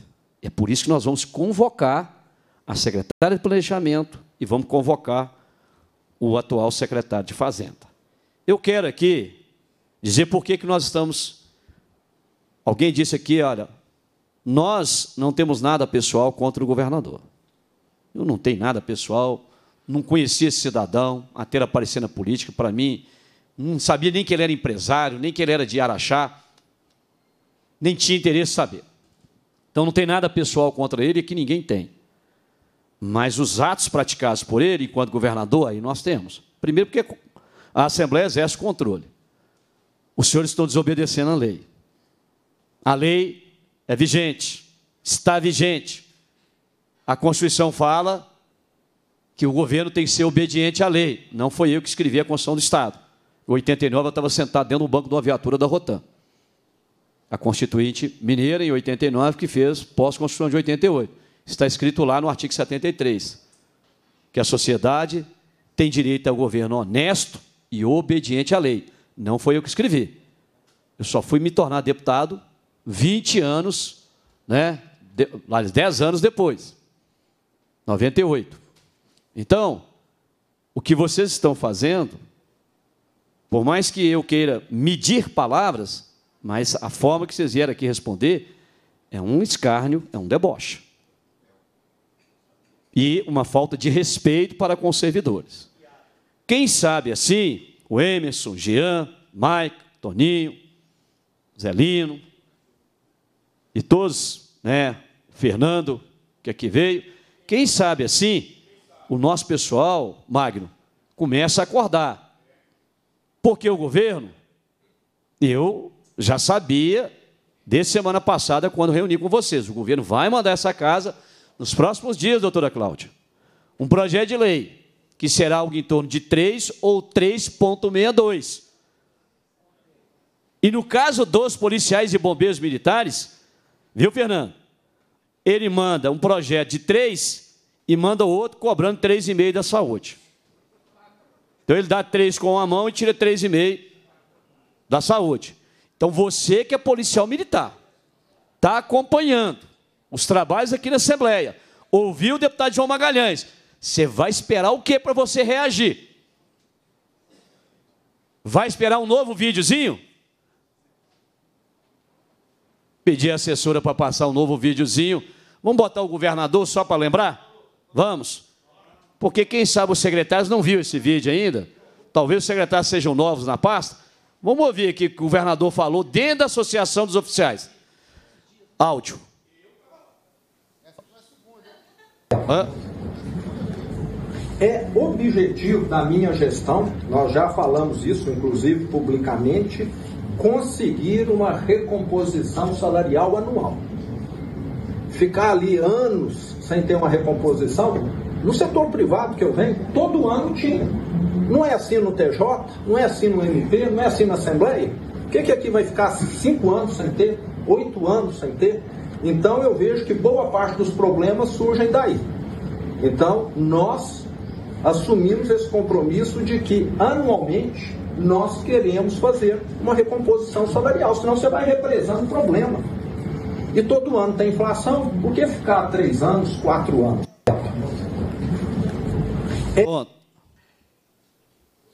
Isso foi em setembro de 2022, durante a campanha de reeleição. Os senhores devem ter ouvido. Não foi eu que disse, não foram eles. O outro vídeo. O outro vídeo parece que é a entrevista na Rede Globo. Nós temos de olhar um cenário maior. É Globo Durante Record? o Não último sei. governo, Record. várias categorias tiveram aumentos, tiveram reposição. E o que nós estamos propondo neste momento para as forças, as forças de segurança do Estado é apenas uma reposição do que foi perdido nos últimos anos. Lembrando que o último reajuste, se não me engano, foi em 2014. Nós já estamos falando de mais de seis anos. Mas eu quero deixar claro, eu gostaria muito de fazer o mesmo por todas as categorias, mas nós temos de ir por etapa. Então, o que nós temos de ver é o resultado entregue. Se eu tivesse contratado 10 mil policiais, que talvez fossem custar muito mais, ninguém teria reclamado. Mas quando se fala em aumentar, mas igual eu disse, é, é um aumento com fundamento. É um aumento com responsabilidade em cima de resultados concretos que têm sido entregues. Nós temos de olhar um cenário maior. Durante o último governo, várias categorias. Bom, Isso aí, gente, foi quando da ata. Talvez os secretários não tenham tido acesso a essa ata aqui. Ó. É a ata que o governo, depois de dez meses negociando, assumiu um compromisso de uma parcela de 13 e duas de 12. Viu, doutora Cláudia? Pagou uma de 13 e deu calote em duas de 12. É essa imagem se refere a isso. Só que ele fala: se eu tivesse contratado 10 mil policiais, ninguém estava reclamando. Ele não fez nenhum e nem outro. Ele nem contratou os 10 mil policiais e nem deu a recomposição que ele mesmo assinou em ata. E o pior, ele fez dois secretários de Estado de governo e planejamento, quatro chefes de polícia, nove deputados e 15 sindicatos e associações assinaram o documento. Então, quando a gente chama ele de caloteiro, não é por acaso. É porque a gente tem razão do que a gente está falando. Então, não é esse não. Eu quero o último vídeo, né? Já exibiu da Record, já exibiu o da Associação dos Oficiais. Agora vamos ver se acha lá o vídeo da Mas Rede a realidade é que dentro dos... Não, também não é isso não.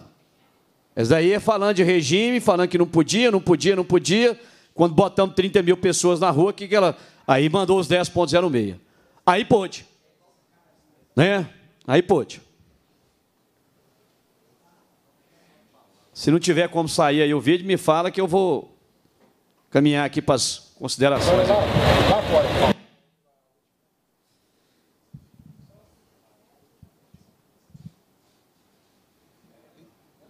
Bom, então vai procurando aí. É, o que, que a gente é, tem aqui para dar de recado aos nossos policiais e bombeiros militares, policiais civis, agentes socioeducativos, servidores administrativos, policiais penais. Não há outro meio de pressionar o governo a não ser com manifestação na rua. O papel nosso enquanto fiscalizador dos atos do Poder Executivo, doutora Cláudia, é esse aqui. É formalmente provar requerimento, provocar audiência pública, sentar os secretários aqui e cobrar deles. Só que eles vêm já com uma fala orientada. Eles já vêm com a fala orientada. Ó, vai lá, não fala nada com nada, fala que está estudando, igual a Aline colocou aqui, a secretária de Planejamento e Gestão já veio aqui, sentou e falou que está estudando tem muito tempo. Os estudos não terminam nunca. A única hora que o estudo saiu rápido foi para conceder 300% para o governador, o vice e seus secretários de Estado. Aí o estudo foi rapidinho. Ninguém demorou muito para poder concluir os estudos. Então, o que a gente fala aqui, Jean, Mike, o Emerson, é para o nosso pessoal que está assistindo pela rede social e pela TV Assembleia, pelo YouTube, dizer o seguinte: se você quiser continuar de braço cruzado, sentado em casa, ou apenas virar leão de WhatsApp, ou de Instagram, ou de Facebook, é uma escolha sua. Mas depois que o governo enfiar a goela abaixo 3%, e enviar, no caso dos militares, mais 3,5% da saúde, para cobrar da saúde, você não poderá reclamar. Porque nem este deputado e nem os presidentes de associações e sindicatos deixaram de convocar, deixaram de manifestar, deixaram de ir para a rua, deixaram de mobilizar. Então vocês não podem reclamar. Se querem aceitar passivamente, aceitem. Mas se não querem, nós faremos nova convocação.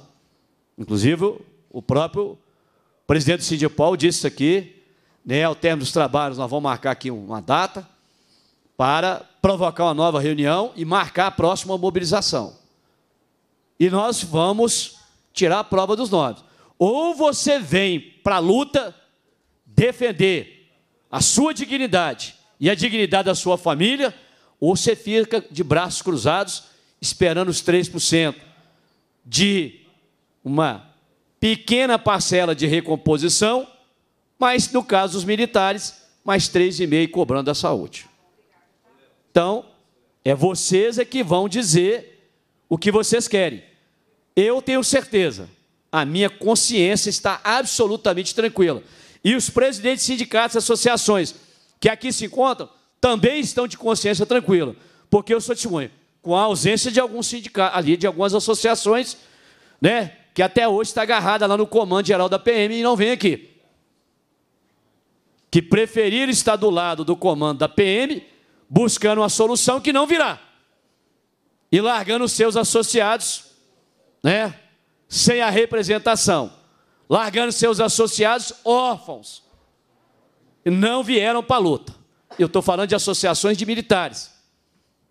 Ressalvado aqui o Centro Social dos Cabos Soldados, ressalvada a CUME e ressalvada aqui a PMN. As outras estão garradas lá no comandante-geral da PM, aguardando a solução que ele não tem condições. Até porque o próprio João Magalhães sinalizou aqui. João Magalhães sinalizou aquilo que eu já estava prevendo aí com vocês. Conseguiu o vídeo? Vamos ver só o último vídeo. Esse foi na Rede Globo. Por pois é, o senhor falou sobre o reajuste aos servidores anualmente. Essa é a projeção e também continuar pagando em dia o salário dos servidores? Exatamente. A nossa projeção é que todo ano todos os servidores tenham uma recomposição salarial. Eu sou da opinião que é uma injustiça, algo inadmissível que alguém que trabalhe num país que tem inflação muitas vezes de 3, de 5, de 8, de 10%, como foi há pouco tempo, ficar sem recomposição anual. É dessa maneira no setor privado, é dessa maneira no judiciário, no legislativo e por que, que no executivo vai ser diferente? Vai ficar acumulando cinco anos, oito anos para ter depois um reajuste. Então, o ideal e é o que nós queremos é todo ano um reajuste para todo o funcionalismo de Minas Gerais, inclusive os aposentados e aqueles da reserva. Está aí o homem que cumpre a palavra dele. Bom, então, senhores secretários. Não é por acaso que a gente realiza audiência. É por causa da fala do governador. E não é uma única fala, são várias falas do governador, é uma ata por escrito. Porque senão você fica assim, poxa, mas deputado é burricido, é chato, é picuinha, é o. De... Não, é. É o deputado, é um, uma ferrinha de dentista. Se vocês me explicar como é que tem outra forma de cobrar, porque pela via da diplomacia política, tem jeito não. E até hoje ainda tem polícia que me pergunta no Instagram, viu? Até hoje, viu? Até hoje tem polícia que fala assim: por que, que não vai lá em um centro e negocia? Mas senta com quem? Negocia com quem?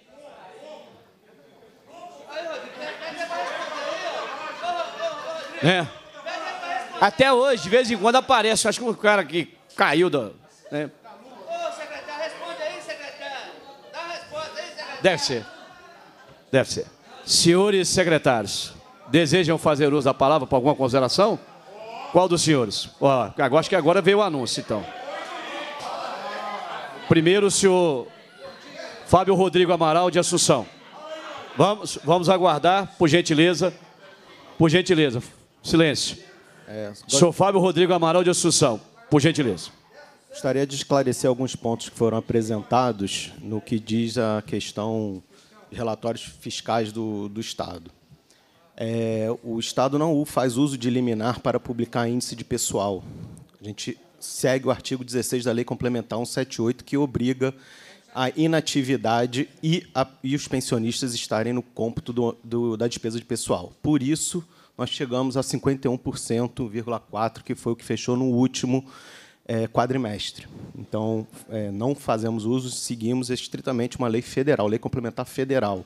Havia antes a questão do, do entendimento do Tribunal de Contas, fazia, mas desde a lei complementar 178, tanto inativo quanto pensionista tem que fazer parte do índice de pessoal. Então, gostaria de deixar bem claro esse ponto foi apresentado que a receita do quadro desse primeiro bimestre está superior a 2023. É verdade. Ano passado o IPVA ficou entre março e maio. Esse ano ele começou a ser é, recolhido em janeiro.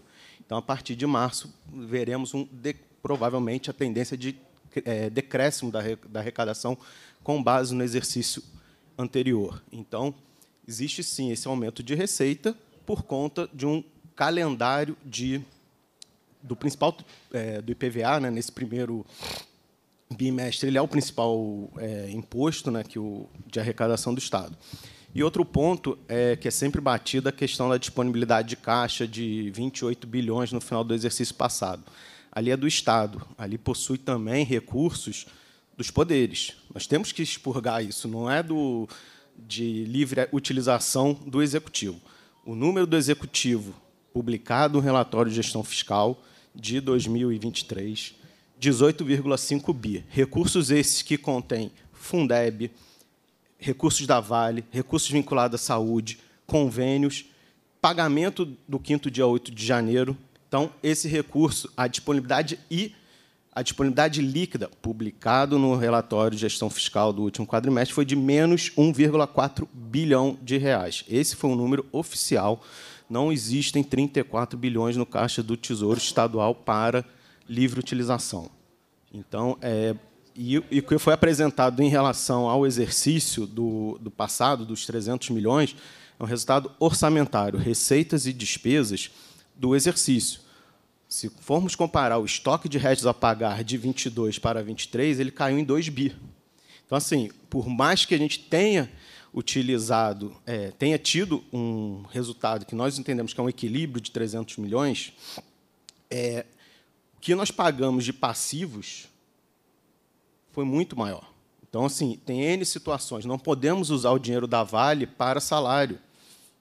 Assim como não será possível utilizar a Mariana. Até foi uma discussão, é, acho que todos aqui estão vendo, de utilizar a Mariana para abater a dívida pública. Já saiu que o Ministério Público não, da União não deseja, a Defensoria.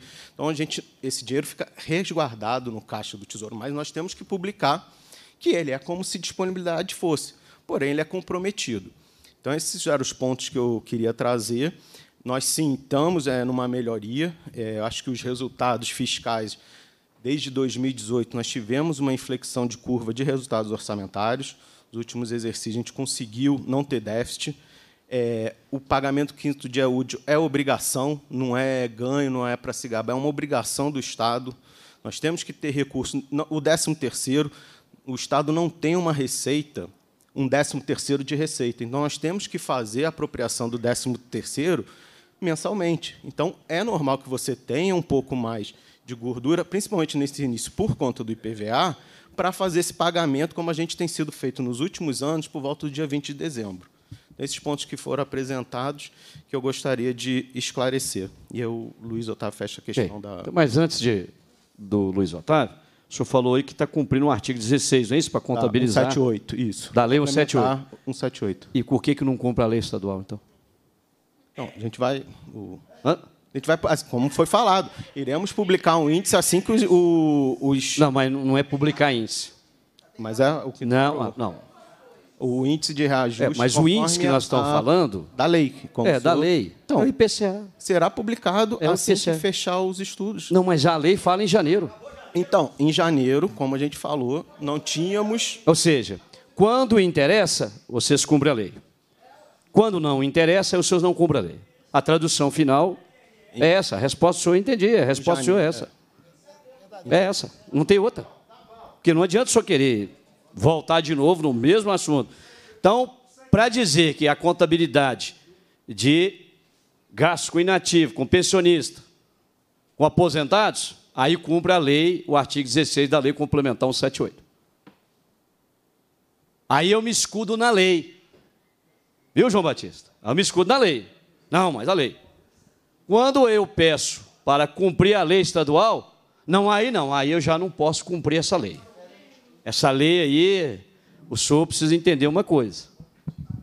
Não cabe a servidor público, a secretário, a agente político escolher qual lei vai cumprir não é facultado ao senhor, nem ao secretário, nem ao governador. Não lhes é facultado escolher qual lei vai cumprir.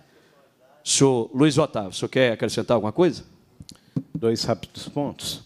O primeiro é reafirmar, é, deputado Sargento Rodrigues, que permanece sendo objetivo garantir recomposição inflacionária o mais rápido possível. O prazo dos estudos que foi perguntado, o prazo dos estudos é mensal.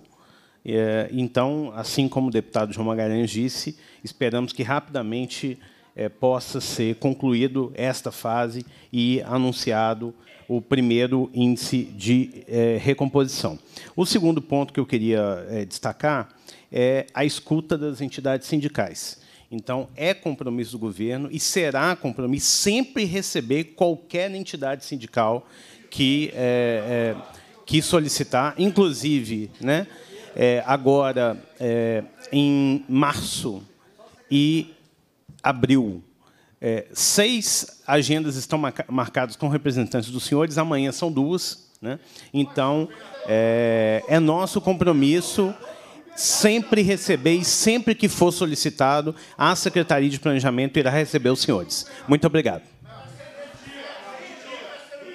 É, o que a gente percebe, né, nós vamos, o que a gente percebe é que o secretário, secretário, até para dizer esse tipo de coisa aqui na comissão, o senhor pode falar. Isso, ninguém vai proibir o senhor de falar que eu tenho o dever, enquanto presidente, de garantir a fala.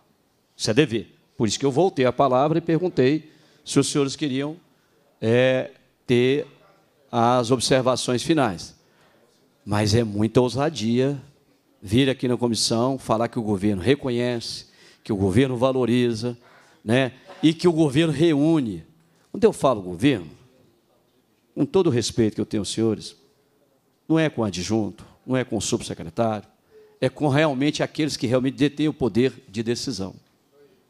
Por que, que a gente acaba tendo que convocar o titular quando os senhores vêm aqui? É exatamente por isso. O que vocês recebem uma recomendação, uma orientação, vai lá e reproduz essa fala. E se o deputado perguntar 20 vezes, vocês falam a mesma coisa. Só que a gente, eu estou calejado aqui, secretário. Só de mandatos já são 25 anos. Só presidindo essa comissão são sete biênios. Então, a gente está calejado calejado com estratégias de negativas. Vocês não cumpriram com a finalidade.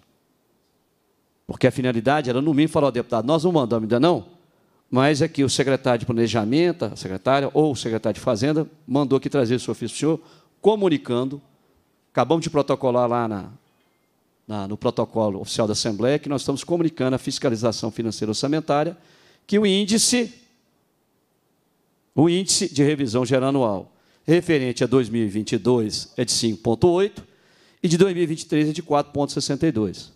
É a única coisa que eu queria. Ninguém pediu vocês para vir aqui dar reajuste. Ninguém veio aqui para vocês pedir o anúncio do reajuste. Nós queríamos ouvir isso. Mas a reunião não cumpriu a finalidade. Não cumprida a finalidade da reunião, a presidência agradece a presença dos parlamentares, dos bravos servidores públicos aqui convidados, dos convidados presentes, convoco os membros para a próxima reunião ordinária de amanhã, às 10 horas da manhã, para debater escolta de presos, realizada pela Polícia Civil, ignora o comando das leis 13.054 de 98, 14.695 de 2003 e da Lei Complementar 84 de 2005, que há mais de uma década atribui essa função aos agentes de segurança penitenciários em caráter extraordinário. A Polícia Militar e a Polícia Militar determina a lavatura da rata e deixe claro, os senhores não cumpriu com a finalidade da reunião. Amanhã nós não temos quórum para aprovação de matéria, né? mas amanhã nós aportaremos o requerimento para convocar a secretária de Planejamento e Gestão e o secretário de Fazenda para que eles possam vir responder o cumprimento da Lei 24.260. Determina a lavatura da ata e encerra os trabalhos. Muito obrigado.